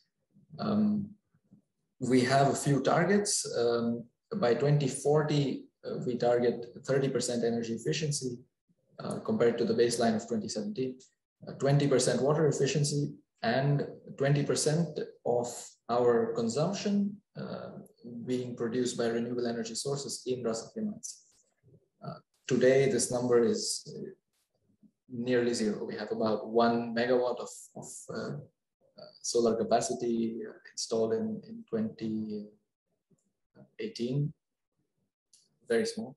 Uh, as you will see, we are making much more progress towards uh, this target. Um, solar program in more detail, um, we conducted in 2018 a study uh, related to the, the, solar potential in Ras Al Khaimah to find out what is really the potential of solar, uh, distributed solar energy. We found out that given the buildings in 2018 and the space we have on the roofs of all these buildings of different types, you know, being the municipality of Ras Al Khaimah, we knew um, uh, we, we, we had records of all these buildings. So we were able to do a citywide study and we found out that in 2018, our distributed solar potential, considering um, some margins for uh, you know, people, uh, for, for, buildings who are tenanted or buildings with roofs that are not usable, um, considering margins of allowance for these, uh, we have a potential of about 340 uh, megawatt approximately. Um, however, by 2040, uh, given the growth of, of our emirate, uh, Ras Al Khaimah a very fast growing economy. Um, we expect this to, to more than double to, to 750 megawatt. Um, and therefore, given this potential, we set an ambition uh, for distributed solar uh, penetration of about 80% of this potential, which is uh, 600 megawatt. Um, and then we said, if we have a distributed solar potential of 600 megawatt, let's try to have also um, an ambition for utility scale solar of another 600 megawatt. Uh, and both of these together, um, at uh, distributed and utility scale level, together add up to about 20% uh, of the electricity needs of Khaimah. Um, and this is how we, we set our target to achieve these ambitions. Our focus uh, is, is more on the distributed solar uh, compared probably to other countries. Um, we have an ambition at distributed solar equal to what we have for utility scale. This is for two reasons. One is that um, our strategy, coming back to our strategy, it is more for um, uh, energy competitiveness. Um, and by that I mean, oh, sorry, I didn't um, by energy competitiveness, I, I mean uh, reducing the cost of energy to, to the final consumers. Um, and we see that distributed solar is really what reduces that cost. Um, utility scale solar uh, can ultimately reduce the cost of, of energy overall for an economy. Um, but distributed solar provides the benefits of, of lower cost directly to the customer. Uh, so we wanted to focus more on distributed solar. Um, and the other reason is uh, for, for, this, uh, for this balance is that uh, Ras Al Khaimah as an emirate uh, has a large area, but most of the, most of the space is, is uh, difficult mountain terrain, um, um, which reduces the amount of, of open space available in Ras Al Khaimah for you know, large uh, gigawatt scale solar installations. Um, anyway, from this uh, start, um, we had some discussions with the utility company in Ras Al The, the, status of regulation of distributed solar um, is very is very nascent uh, here. Uh, the utility company, um, and, and, which is governed by federal regulations, uh, did not have any um, existing regulatory framework for um, distributed solar energy. This framework is now being is now in advanced stages of being prepared. Uh, but while this is uh, established, uh, we agreed with the utility company uh, to have some initial uh, conditions for connecting distributed solar installations to the grid while a regulation is, is, is ready. Um, so these are the conditions under which distributed solar uh, installations can today connect to uh, the utility in Al Khaimah. Um, uh, up, up, to 10% of the total connected load is allowed, uh, connected to uh, medium voltage 11 kV or, or low voltage uh, 415 volts. Um, of course, there is an application process to the utility, to Etihad Water and Electricity, to, for which we can provide support. Um, the system has to be zero export uh, to the grid for now. Um, um, and uh, use of, of this uh, process to connect a solar installation um, means that uh, today a customer is not eligible for other uh, exceptional discount schemes or initiatives. Um, now, under these conditions, um, we were able to launch um, uh, the development of some standard uh, uh contracting templates, tendering documents to support the market in, in Ras Al Khaimah to, to, to, take off, to grow. Um, and with this contracting framework, we started a first tender for distributed solar installations. Um, now, given these connection conditions, uh, we, we saw that the volume of initial installations um, was, was limited. Um, so we did a first tender for 15 megawatt, approximately up to 15 megawatt, um, aggregating many different uh, installations, uh, 100 kilowatt, 500 kilowatt, one, two megawatt together, um, uh, so that we could benefit, so that all these customers could benefit from uh, the economies of scale, you know, getting a price together for 10, 15 megawatt. The joint tender requested both EPC and lease prices because some of our customers wanted uh, both uh, options to choose from. Um, and all the participants agreed to, to choose uh, um, one or two optimal suppliers depending on uh, offers received under this tender. Uh, our office, Reem, uh, within the municipality facilitated this tender. So uh, we set up agreements, MOUs, with all the participants in the tender. This included government entities, government-owned companies, uh, completely private companies also uh, that operate in, in Ras Al Khaimah. so we set up agreements with them to uh, manage an aggregated tender process for solar installations. Um, and uh, we also manage for them the approval process of uh, for, for, from the utility, um, from within the municipality, uh, building approvals, etc. Um, and we launched a tender um, to developers and contractors. We did the evaluation um, and uh, we recommended uh, bidders for selection. Also, um, this uh, process was very successful. Our tender received uh, 84, uh, more than 80 uh, pre-qualification submissions from around the world. It was an international tender. There were several um, um, bids also from, from Indian companies, Chinese companies. Uh, we pre-qualified out of them uh, 21 um, bidders uh, which sub to submit final proposals. Um, and out of the final proposals received, we selected one bidder as an empaneled bidder, um, which, which, which bid a prize um, providing 65% savings versus the utility the tariffs, the normal utility tariffs, um, which was a very, very advantageous price. Um, following the standard, we have, we have, we are very advanced in this process already. We have uh, completed the empanelment of bidders, um, completed uh, the detailed proposal stage where uh, selected bidder goes to every site, uh, creates a detailed um, design uh, for each site, assesses the, the, the, energy consumption for each customer. Um, uh, and now these installations have been submitted for utility approval.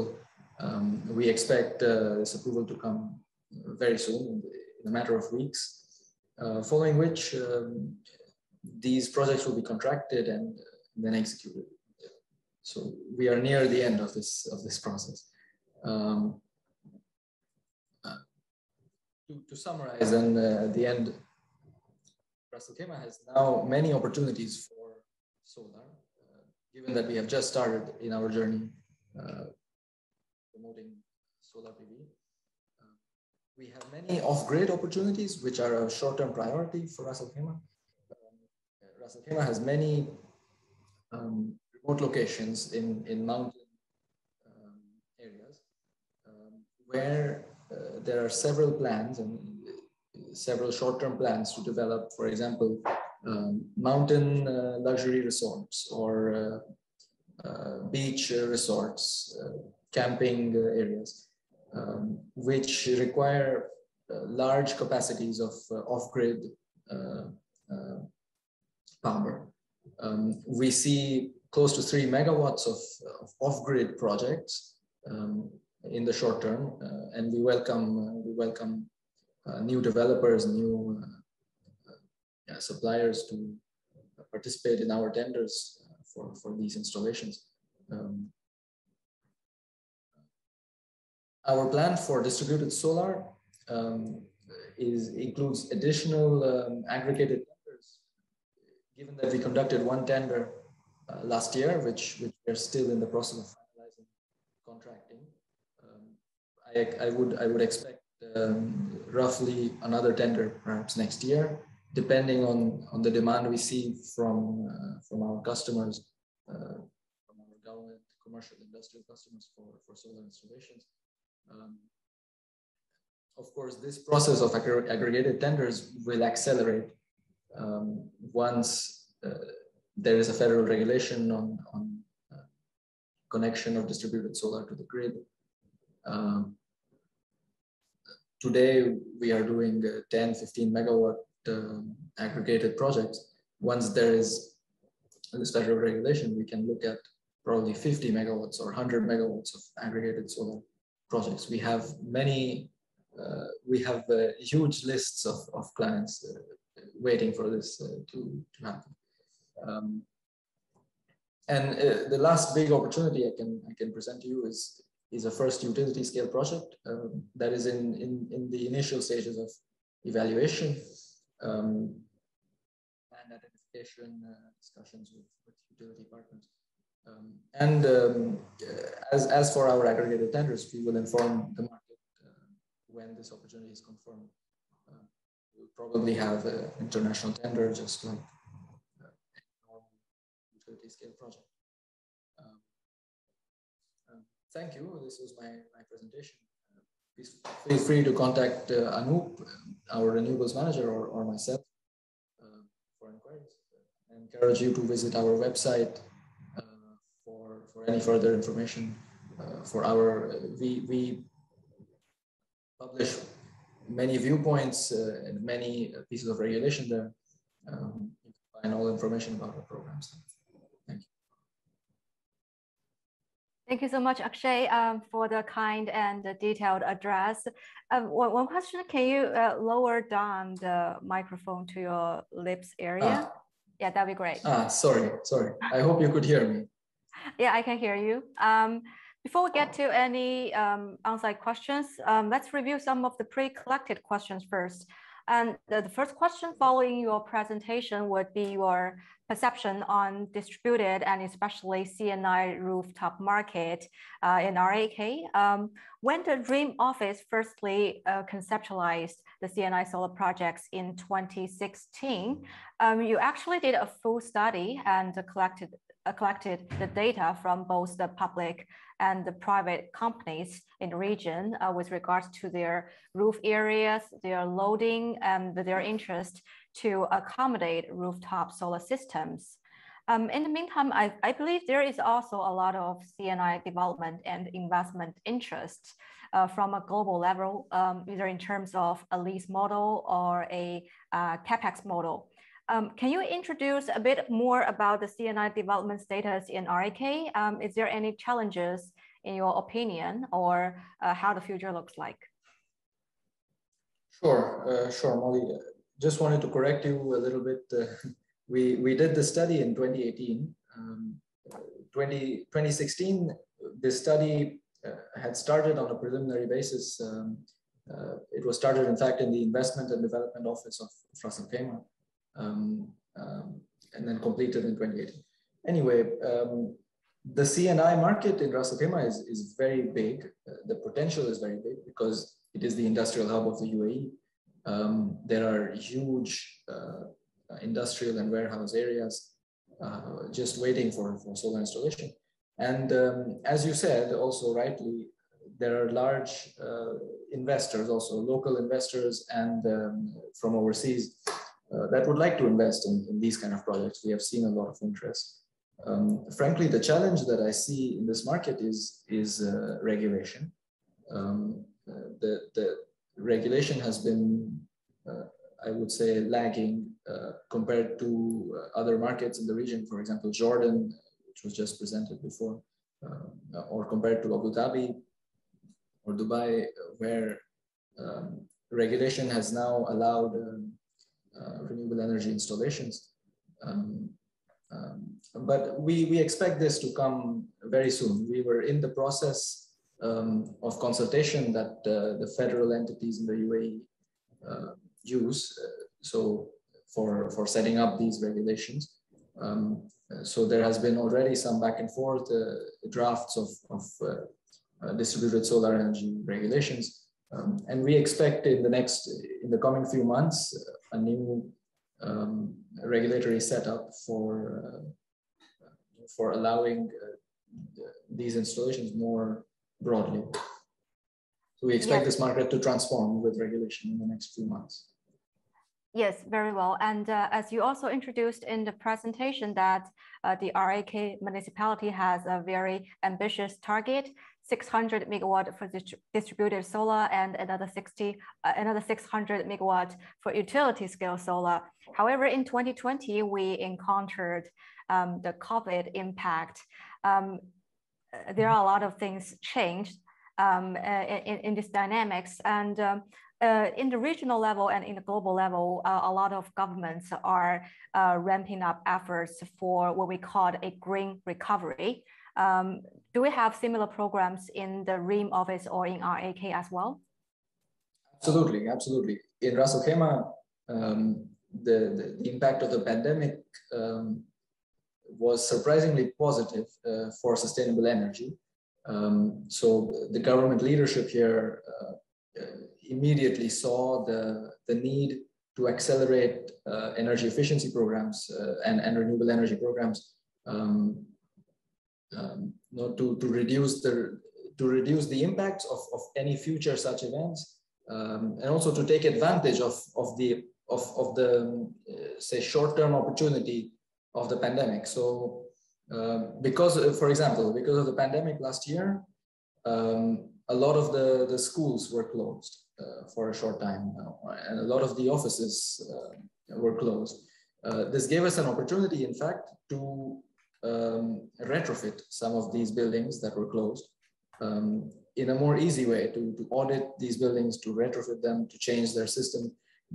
Uh, and it made it easier because there was no occupancy in these buildings. Normally, it becomes a hassle to um, to retrofit, uh, to work on existing buildings that are occupied, but, but this was not the case uh, last year for, for a few months in the pandemic.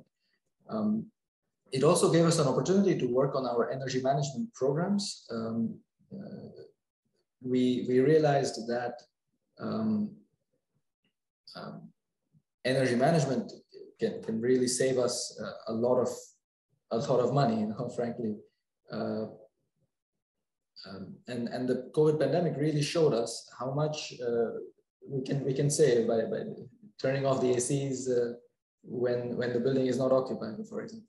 Um, um, on the solar program, um, I would say that we continued um, more or less as as per usual, um, with uh, nearly no impact of the pandemic, no delay, uh, nearly no changes in in prices uh, observed. Yes, and um, and, and as you mentioned, um, um, uh, the RAK municipality are um, would love to involve and uh, encourage the private sector investment uh, into the criteria. Um, any incentives on the table right now, whether it's a financial incentive or regulatory incentive for especially the foreign investors? Okay, uh, we have incentives today in Ras Al Khaimah for um, uh, SMEs, uh, new businesses uh, in the energy sector who want to set up uh, their office in Ras Al. We have some business setup incentives, reduction in fees for business, for licensing, etc. here. Um, we are also looking at um, promoting local uh, local businesses, local localization of, of solar projects um, uh, we are studying still this, how to do this, looking at the model of, of Egypt, of Morocco um, for localization. Saudi Arabia also has some good uh, examples of, of this. Um, but we are still studying this topic. Right. And, uh, and um, one more question with regards to larger scale projects. I think the projects you mentioned was in partnership with the FEWA. Um, FEWA, mm -hmm. uh, now um, I, I, should say Etihad um, WA. Um, yeah, the land, yeah, the land was also identified, the land for uh, the site, I, I should say, uh, land of the site was identified um, in 2016 or 2018 as well. Uh, why there's a huge time gap between the site identification and the, the development? Because we are still in early stage, you know, um, uh, assessment and evaluation? Yes, there was an initial site um, identified in 2016 for this uh, for a utility scale project with with FEWA, which is now EWE. Um, however, this project was uh, was was in the end it didn't happen um, because FEWA went through a restructuring process uh, to now become EWE, uh, move from an authority to a company. Uh, several of its other stakeholders also um, had a restructuring process. Um, there was probably a change of, of priorities there uh, that, uh, that I'm not fully aware of that I cannot comment on. Yes, and do we also have a uh, local content policies that may related to the development of this utility scale project? Um, not yet, not yet. Uh, we are still studying, as I said before, we're studying the topic of, of uh, creating a local content policy uh, that would incentivize, you know, indirectly um, uh, local setup of, of manufacturing of, of companies here. Um, Uh, yes. We are looking at the models of Morocco, Saudi Arabia, etc. Right. Um, and uh, I, I, saw there are three remaining questions uh, in both the mm -hmm. Q&A box and the chat box. However, I think considering the um, nature of these questions, it might be a little bit um, sensitive. So I will leave you to, you know, scrutinize um, these questions privately and see if you are comfortable uh, with addressing them. Sure, sure. So um, there is a question: How many megawatt will be monitored uh, among the 600? Um, I assume you're talking about distributed uh, uh, solar installations, um, and we intend to monitor all of them. So we have technical standards for um, monitoring systems for distributed solar installations that we um, that we enforce uh, for all the projects that we do. Um, so we intend to have all of these uh, projects monitored, the, the consumption, uh, sorry, the, the production uh, load profiles. Um, and then which company was the winning bidder um, in the aggregated solar installation? So uh, we have empaneled um, an Indian company, uh, EESL. It's an Indian uh, uh government uh, enterprise. Um, however, as, as you saw in the presentation, they are still in the phase of utility approvals and, and submitting proposals. Um, so they have not been contracted. Um, you said there was another question um, uh, in the Q&A box, but it's not very related to our topic today. Um, they're asking uh, if RAK is considering other renewable energy options, for example, like ah. water. Yes. Um, so we are looking, we are studying, in fact, and we have studied uh, some of these options also. Um, things like um, pump storage in our in our mountains um, things like uh, floating solar installations, um, geothermal energy. Uh, uh, we are in uh, various stages of studying all these options. However, for sure, the, the priority is solar. You know, in this region, with the kind of solar energy resources we have, um, it would be a crime not to prioritize solar.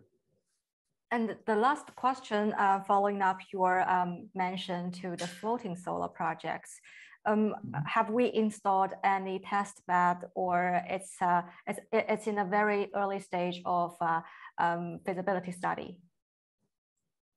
Um, some feasibility studies are complete um, uh, and we are monitoring test beds that have been installed uh, by, by other contractors in, in Dubai. Um, and there is one uh, test uh, pilot installation that has been proposed uh, in, in Ras Al Khaimah, uh, but uh, not installed. Great, great. And thank you so much, uh, Akshay, for joining us. Um, I really appreciate your time and your presentation. It was a good one. Thank you, Molly. thank you for this platform. I hope this was interesting. Yes, um, and now we are reaching our concluding sessions, um, supply chain management in MENA in the post-pandemic area, contributed by our last but not least speaker, Mr. Alvaro Gonzalez, head of procurement of ACWA Power. Um, supply chain is more than materials or components, but require great industry know-how, especially in region like MENA, uh, where everyone is striving to reach the lowest LCOE to win the bids. ACWA is one of the most impactful developers in the region, and I believe there are uh, a lot to learn from um, Alvaro's presentation and from the company strategy. Mr. Alvaro, um, if I remember it right, uh, you've been in the MENA region for around three years. Maybe you can start with um, a bit more detailed introduction about uh, your ideas, your thoughts on the regional developments, and then fire up your presentation. Sure. Thanks, Molly. Let me let me share my screen. Okay. Sure. second.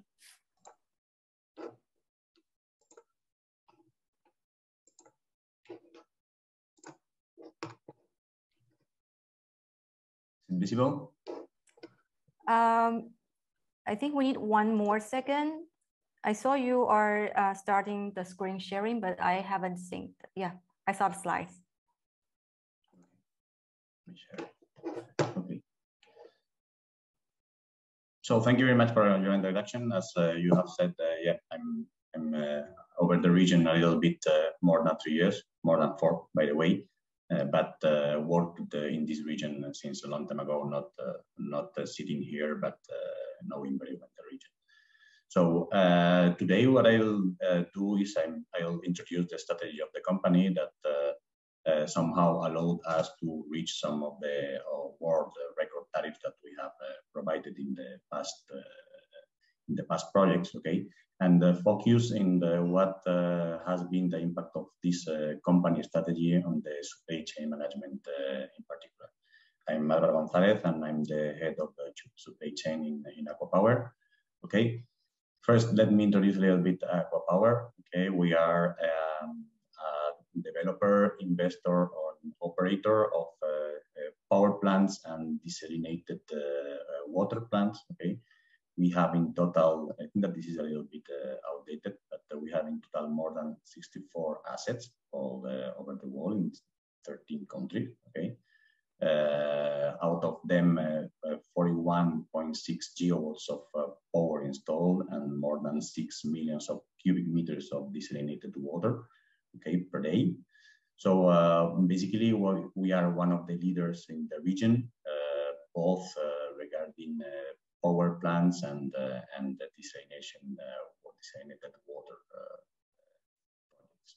Okay how our shareholding structure looks like is uh, shown in this slide. Uh, however, the last uh, IPO is not reflected here, but I'm sure that everybody is aware about the successful IPO that we have announced a um, couple of uh, weeks ago. Okay, and uh, yeah, basically what we uh, we want to show here is that even if we are a private company, we have uh, public shareholders, okay, uh, and now also the stock market, okay. So that uh, uh means that we we, we have uh, had to implement a full and uh, the most strict global standards of corporate governance and risk management, okay, and especially in the procurement process that you know that is very sensible and is very um, uh, somehow screened by all the shareholders. Okay, so this is, uh, yeah, we are a private company, but we have uh, public uh, shareholders and we have uh, as well the stock market now. The, we have been listed in the, in the Saudi stock market.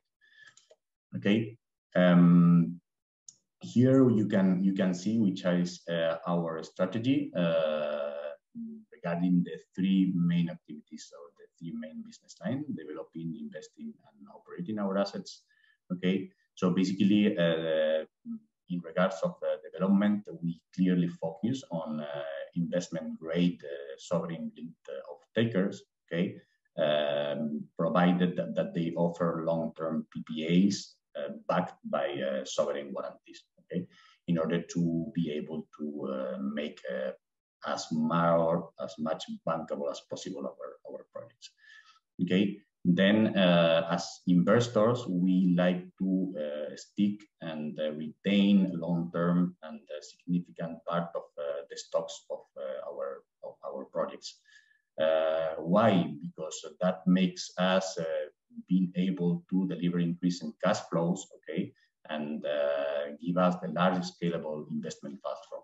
So we can uh, keep uh, investing and we can uh, keep increasing our portfolio that allow us somehow to um, look at the supply chain in a different way, not uh, project by project, but uh, as a portfolio uh, wise mode. No? And then finally, assets are operated by our sister company, uh, NOMAC, that is uh, 100% owned by ACWA Power okay, and uh, only operates our assets. That means that uh, the level of uh, knowledge and the level of uh, experience is retained inside the company. Okay, so that allows us to implement all the lessons learned that we have seen in the operation of our assets, and this allow us to um, lower further the cost of the operation of our plants by implementing the last technologies and implementing the last uh, lesson learned that uh, we have seen in our in our projects. Okay, so as a developers, we look at the supply chain uh, not only from the um, capex perspective, but we see at the supply chain in a holistic manner, I would say. Okay, from the uh, upstream raw material manufacturers up to the uh, installers or the small operators that we subcontract to operate our plants. Okay, that uh, that being uh, allocated in our in our plants and in our local uh, regional offices. Okay, that that has been allowed us to uh, deliver the lowest tariffs that you have seen in, in the last projects like uh, DEWA 5 or Al Faisalia that uh, were close to one cent, okay, of US dollar per, per kilowatt hour. And uh, yeah, and uh, also allow us to having under control the full supply chain and the whole value chain of the, of the solar uh, projects allow us to mitigate and to keep very well control our risk. And that uh, will help as well to show that our projects are uh, somehow attractive to other lenders and to our investors and uh, make us collecting, say, uh, good amount of funds to be invested in our in our projects. Uh, from the beginning, from the very beginning, and this is related with one of the, the topics uh, from today's uh, uh discussion, is uh, how the large projects can unlock and can somehow drive the, the growth of a company, um, in, especially in solar. No, we have been focused from the very beginning in large projects with with the purpose of leverage this big capacity uh, to unlock other capabilities, uh, not only in the region, but outside and being able to grow in, uh, in the international market, okay? since we are the, one of the largest developers of the region, we have based this growth on dark projects and happening around GCC because you know in this region all the projects are most of the largest of the world. Okay, and uh, that unlocked uh, some capacities and, and have made us able to tackle some other uh, large projects uh, in other countries outside of the MENA region. Okay, so these, these large projects impacted somehow um, also the way that we have uh, managed our supply chain from a project-wise approach to a complete portfolio-oriented uh, uh, strategy. Uh, that allowed us as well to um, to use framework agreements and developing a strategic partnership with the most relevant and reliable international uh, manufacturers and, uh, and suppliers, as well as develop, uh, because uh, we, we, we developed or we participated in large projects, as well as developing our local uh, subcontractors and our local supply chain that support the operation and, and the maintenance of our assets. Okay, so um, we like to call us ourselves as uh, as uh, cost leaders. Okay, um, other than the structural um, aspects that you cannot uh, avoid because of the let's say um, uh, because of the type of uh, project that you are facing or the site or the country that you have uh, decided to uh, target, okay, there are some other aspects that impact as well the LCOE and you can control like the technology, the finance, and uh, finally the, how you uh, propose your, your pricing. Okay, um, I want to say that we uh, focus in the in the technology, okay, being fuel agnostic, uh, while we um, have a tendency on, on, on solar because this is the region with the best uh, solar resource uh, of the world. So naturally, we have a tendency of fortunes in, in, solar. Okay, uh, and uh, and uh, why we focus in technology because it's the is the base of being a, a, tariff leader. Okay, uh, a good or a proper and the fit for the purpose conceptual and basic design uh, allows you to uh, deliver the most competitive tariffs because uh, you have the optimized capex, the optimized opex, and then granted the, the reliability and the performance of your plant in order to uh, meet or, and match the targets of your financial model in, in, in any in any case. No? So you give the confidence to the uh, finance uh, institutions that we're going to be delivering. And by the way, all our projects are uh, over over producing, so we can show our track records to our financial partners. And uh, since we have worked very hard in the technology and implementing the optimum scenarios and the optimum uh, strategies, we are able to show our lenders that uh, we are reliable and we are overperforming in almost all our projects okay? Then the, our financing costs are uh, lower and we are uh, lowering our financial our financing costs, okay? And, and lastly, uh, our our strategy is not uh, being uh, market uh, oriented regarding the prices. We don't care about the prices of the electricity or the water in the markets that we decide to target. Uh, we try to do our best. We try to optimize our projects using for sure technology and, and design. And, and then we uh, figure out we see which is our um, fair revenues and, uh, and uh, we try to match the expectations of uh, our lenders. And then this is why we calculate the tariff. We are not driven by the market. Okay, and usually that uh, made us uh, very successful in, in, some countries that uh, we really lowered the tariff significantly um, compared with some maybe previous feed-in tariff programs. Okay. So um, again, insisting on, on, on which are the components of, of, uh, uh, of a tariff, no, is uh, from, from bottom, that is the most important one, that is the capex, to the uh, upper part, that is the fuel. Okay, now today we are talking about the solar, so fuel is, is, is, not, uh, is not a discussion. Uh, well, uh, in summary, mm, we try to lower the, the capex, okay, uh, working together with all uh, our supply chain collaborators, signing uh, uh, framework agreements and uh, leveraging all our big and, and, large portfolio.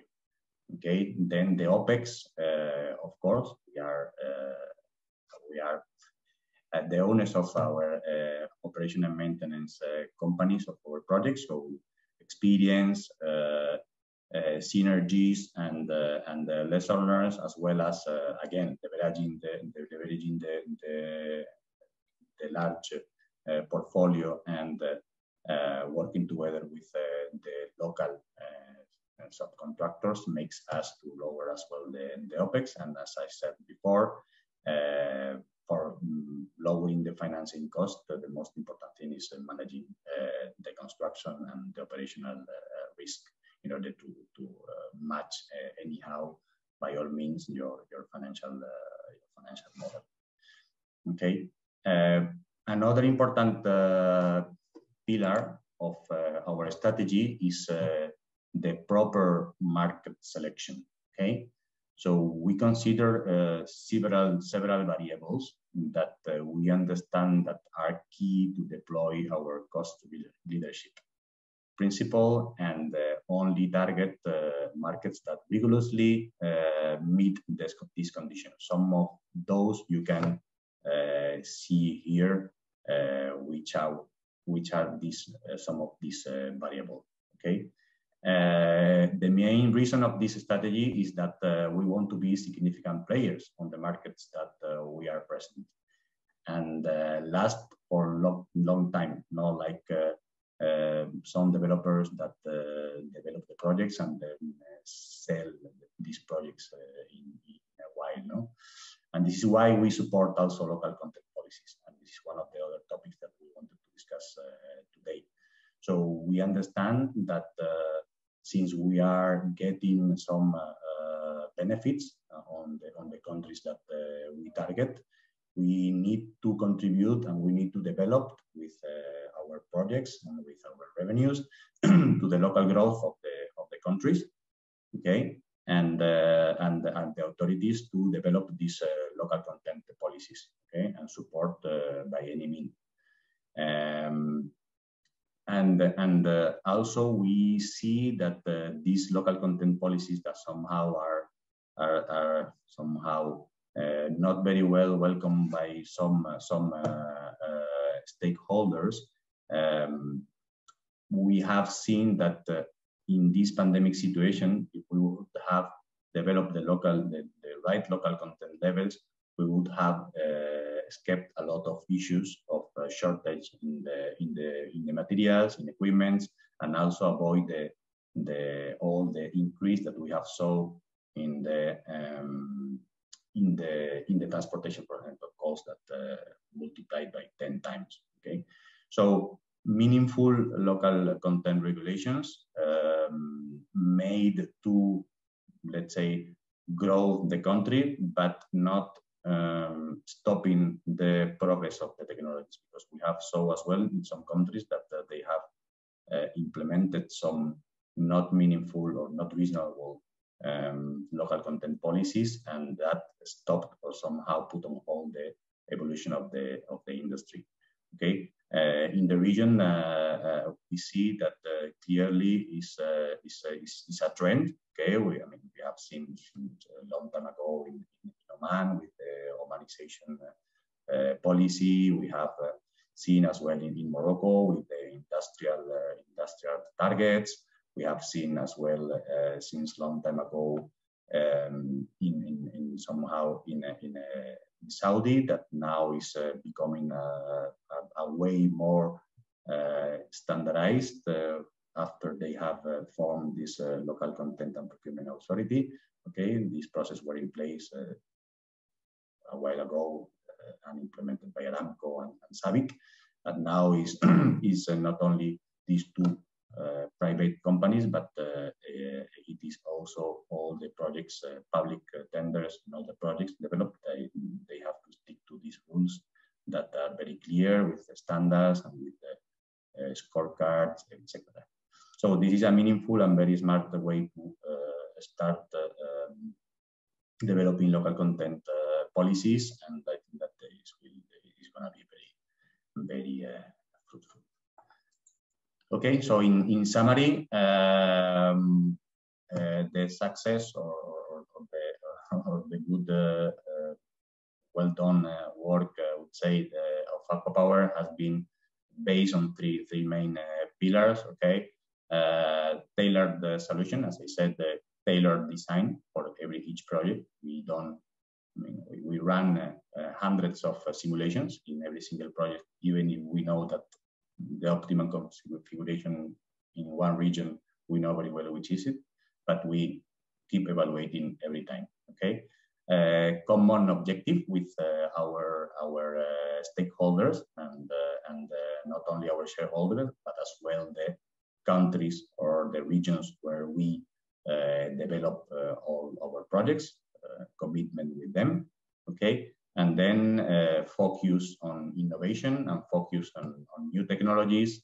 Um, we are now going towards hydrogen, uh, and we, uh, we, have been pioneer in some technologies like uh, CSP and then some some uh, uh, new technologies in solar. So this approach made us successful in, in, in the technology implementation. Okay, and uh, I'll finish my uh, presentation here. Please feel free to uh, ask me uh, whatever you uh, want to know or further information. Okay, so very happy to answer whatever questions you may have. Yes, thank you, Mr. Alvaro. Um, as usual, uh, we need to uh, leave some time for the audience to type down their questions, and perhaps we can go through some of the pre-collected ones first. Um, as you just mentioned, that MENA region is in fast-paced development with great potential, and Saudi, UAE, Oman, and your prioritized markets like Egypt, Jordan, and Morocco. Um, the supply chain has play um, has been playing a, a, very important role in not only mitigating the risks but also optimizing the costs. Um, as the capacity grows, many OEM companies and EPC companies are starting to localize the teams and office. In terms of developing supply chain in the MENA region, um, what's the biggest challenge or the gap areas do you see? Well, uh, I think that uh, this uh, COVID and pandemic situation made uh, everything uh, much more difficult. Okay, I think that uh, up to the pandemic came, there was a, a clear trend of, of establishing new offices and new OEMs in the region. Now that the somehow the projects are quite on hold, this is the, the, the, the main the main challenge Okay, but this is a this is something that is not uh, structural. It's something that is uh, conjunctural. So hopefully, uh, very soon will will uh, will uh, will gone. Okay, and uh, and then I think that this this region has a pipeline enough to um, to make the local the local manufacturers um, setting up their, their manufacturing facilities here without any major challenge. So if if if other than the pandemic, I don't see any any any constraint and any uh, really challenge to, to come here and, and establish the, the, local supply chain. Plenty of opportunities. Yes. Um, um, the, the, the, the pandemic, um, the COVID situation uh, has really changed the dynamics uh, of the whole industry. And uh, in terms of priorities, is there any shifts when you're managing the supply chain globally and in the MENA region? Well, uh, in terms of in terms of priorities, uh, yes, uh, I think that firstly um, we need to uh, rethink about the policies that uh, that has been agreed with the local governments, okay, or in the region, because that were thought before the pandemic. So I think that uh, and, and, and, policies are very important in order to uh, and smooth and secured uh, local content policies is deployed. So this is the first thing we need to rethink about that. Then we need to uh, look at, uh, of course, the, the, the, implementation schedules that we had uh, somehow secured Uh, before the pandemic and, uh, and, during the pandemic because we thought that the duration of the pandemic was was going to be less. Okay, and uh, and after that, I think that um, as I said, uh, once we uh, somehow rethink about the scenarios and and and agree on the new scenarios, the ways is smooth and is, is cleared. Yes, um, you, you, mentioned about the pre-signed contracts uh, as well as uh, some local content challenges uh, during your negotiation with the government. Can you, can you elaborate more on the local content policies in respective countries, for example, in, in Egypt, in Jordan, and in Morocco, or in the kingdom? What, what, what's the biggest challenge you find that would keep you awake in the night? Well, uh, basically, the um, sometimes uh, and, and, and this is somehow we are we are uh, it's our fault. Sometimes the the lack of commitment of, of the stakeholders. Okay, when you need to take an investment decision, you need to have some certainties and some uh, commitments from all the stakeholders, of takers, EPC contractors, government, uh, utility authorities, uh, everything. Okay, so these are uh, for me this is the main challenge, but but making a, main, a meaningful evolution of the industry will, that will be solved very very easy. No? and then depending on the depending on the on the on the countries. Um, uh, think that uh, all over the region, the local content policies that I saw are somehow um, very fair. Okay, uh, countries with uh, with uh, more industrial uh, capacities implemented more local content, and countries with such without such industrial capacities were requesting for less local content. So I think that uh, in this region, I didn't see any local content policy that make, uh, makes no sense and was no, were not fair.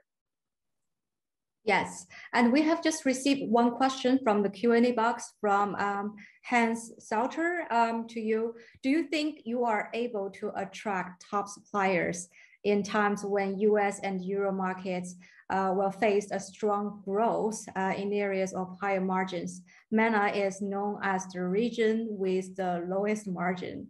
I, I think it points to um, how to build, how can we build a resilient supply chain? And do you have any put, uh, have do you have any you know input on that?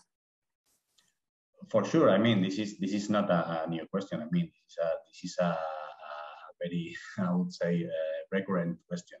Uh, but selection of the markets is a, is a matter of choice, no? And some suppliers uh, basically uh, are targeting the high market, high high revenues markets, and some others are more focused focused on, on high growth uh, uh, regions and being present uh, and being present here in this region. Okay, there are a lot of suppliers and a lot of technology partners that don't want to come here, but there are a lot more that are very happy being present in this region because they make them uh, a growth and, uh, and a perspective that uh, maybe other markets cannot um, cannot uh, offer. No? Uh, even if the, the, the margins are uh, higher in other markets, the, the growth path and the, the size of the projects that this region is offering is not comparable with the rest of the world.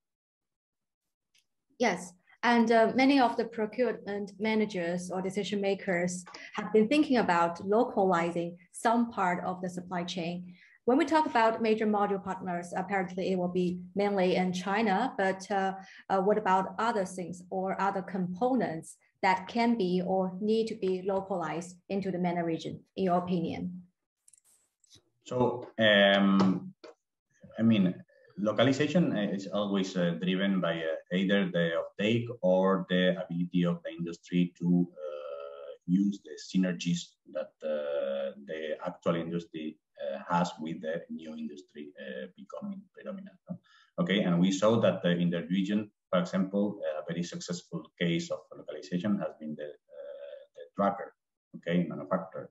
And this is because the steel industry in the region is very, very strong and the similarities and the synergies with, uh, with the solar industry were, were clear, no? So uh, the, the, the, uh, the switching the industry from maybe uh, transmission line towers, tower tracker. is very easy, it's very clear, and uh, and this is this is the successful part. For modules, is different. For uh, there should be, as I said before, a commitment from all the stakeholders, and and sometimes should be driven by some incentives and some agreement of take or of taker agreements or or granted of takes. Okay, but uh, but this is a second phase. Now we need to focus on localizing whatever makes sense, whatever is easy to localize, and whatever uh, doesn't impact the, the let's say the cost of electricity uh, after. And, and in MENA region, as we just introduced, um, that every developer is trying to reach the lowest LCOE. How would you focus um, um, the, the, the future increase in PV capex in MENA especially? And, uh, well, and what role can local EPCs and in, installers play in such a huge project pipeline? Okay, so so the so the, the price increase for sure will have an impact on the tariffs uh, of the upcoming projects. Uh, we saw yesterday or day before, I don't remember well, the, the the results of the last tender happened in the region that was REPDO three, uh, REPDO round three. Okay, um, that has been tendered the past year uh, with uh, the, a level of prices even uh, 30 or 40 percent lower than nowadays. Okay, and we saw that the tariffs went up. Okay, because we were foreseeing that the prices were going to, to be higher. Okay, so I mean, we, we if, if, if, there is a cost increase in especially in solar where uh, 70 or 80% of the cost of one power plant is, uh, is, the, is the material, uh, we, can, we can do nothing. for sure, there will be an impact on, on, on, the, on, the, on the tariff of the electricity. The role of the IPP and the role of the utility companies is that uh, this uh, cost increase um, is the, the lesser possible, okay, and try to uh, somehow uh, compensate with our revenues or whatever uh, this increase and uh, still delivering electricity at a cost that is, is, is affordable. Okay, and then related with the second question, and which is the role of local installers and subcontractors in, in large power plants. All, I mean, plenty of opportunities.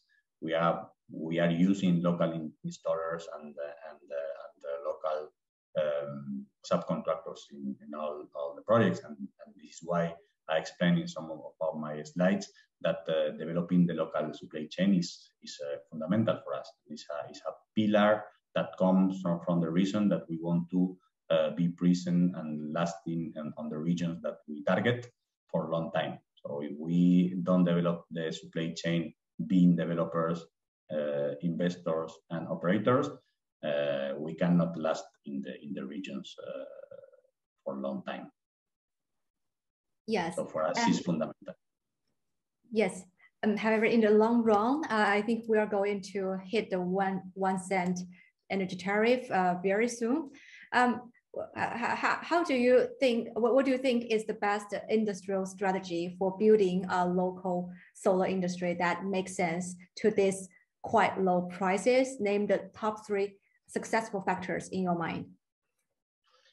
Uh, okay, I mean, that, that was the target. Uh, we were very close uh, with our projects, uh, uh, with uh, our project uh, of uh, Al Faisalia, but the reality is that uh, every project is different. So you cannot talk about one cent as a common pro common target of all the projects of the world. For example, in other markets, you have the merchant market, so it's much easier to uh, to deliver a, a low uh, tariff because you know that after some years you're going to have the merchant market that will recover all your all your profits. Okay, so uh, maybe changing the, the rules of the markets in some of the region is one of the of the uh, best way to uh, to be closer of this uh, of this tariff. But at the end of the day, it's not it's not a real it's not a levelized cost of electricity because will only happen or will only last for a few years. Okay, the best way is the, is the, is the way that we were um, following uh, until the pandemic came, no? improvement in the technologies, making larger power plants that allow to distribute more the, the fixed cost, okay, and, and, and making more profitable, um, and then working together with uh, the full supply chain. For me, as I, as I, said before, designing and technology are the two uh, uh, key but key actions that you have to uh, tackle in order to be a cost leader. And there is no more because at the end of the day, every, everybody has to make money and and increasing the efficiency is the only way because the solar resource is one and is fixed and you cannot improve. Uh, so only the only way is improving the technology and, uh, applying all the new technologies in the upcoming projects. Yes, uh, and, apart from um, localization, uh, localizing the supply chain, there are also some new trends rising up in the industry, such as uh, digitalization of supply chain, for example, raised by Masdar. And uh, uh, Engie is talking about decarbonization to cut the carbon footprint of the supply chain. Um, what, what's your um, input on that? And uh, um, what are the latest efforts um, being developed by uh, being developed by ACWA in terms okay, of, I mean, of the overall effective management? So, so uh, digitalization and uh, artificial intelligence is, uh, is a trend and you cannot stop, okay? And it affects not only the supply chain, but affects all the aspects uh, of the projects from the, from the design itself uh, and up to the, the construction. So being more efficient in, in uh, efficiency, not only is the efficiency of the module, the module itself, but efficiency is uh, is, is, a, is a, a, concept that is uh, getting the, the, the highest outcomes of the minimum inputs. So uh, this efficiency can be should be implemented in all the stages of the project uh, including supply chain, of course, and that will um, allow us to, uh, again, yeah, lowering the, the prices and in somehow make us able to mm, lowering the prices at the same time that we are decarbonizing because decarbonizing and uh, making the the world uh, greener uh, somehow has a cost and uh, we need to compensate uh, making the, the, the, plants more efficient and uh, implementing artificial intelligence and digitalization in all, in all the value chain. Yes, and, and during our previous discussion, you also touched on ACWA's latest initiative in green hydrogen, um, the reputed NEOM project, and many more in the future. Uh, can, can you explain a bit more about the green hydrogen supply chain and how it works in MENA region? Well, uh, green hydrogen supply chain works uh, everywhere in the same in the same manner. No, and the, the, the origin of the world uh, uh, of the word uh, green hydrogen is because you are only using renewable energy sources to convert your water to into hydrogen. Okay, and in this in this region is the let's say most suitable some most suitable of the world because we have solar that uh, has a high uh, capacity factor and then we have some uh, uh, good resources that complement as well and increase the capacity factor of the plants.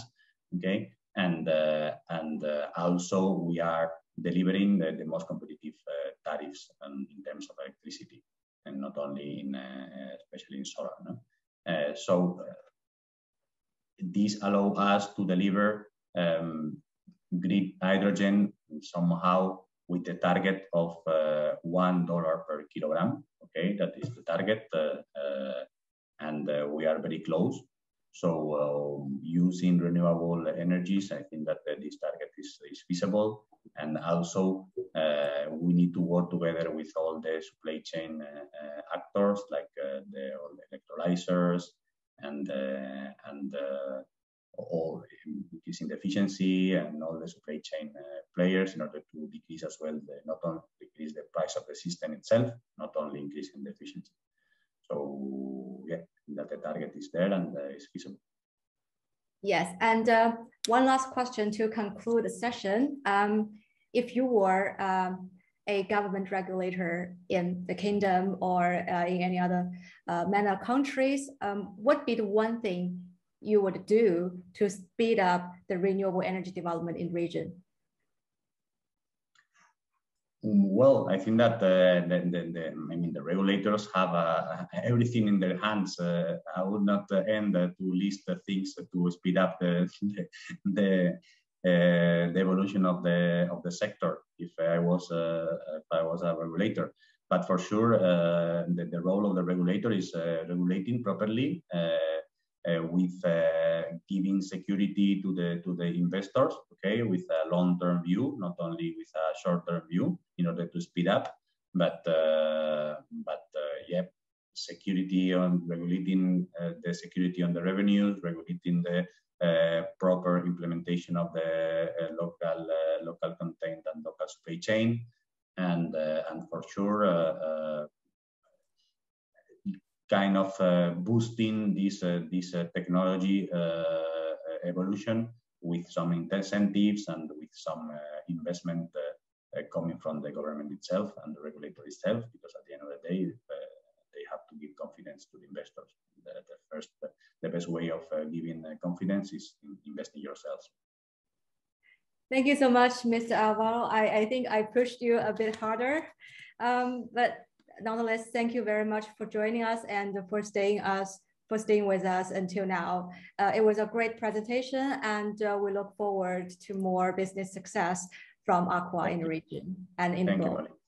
Thank, thank, you, thank you. Thank you, Molly. Thank you, everyone.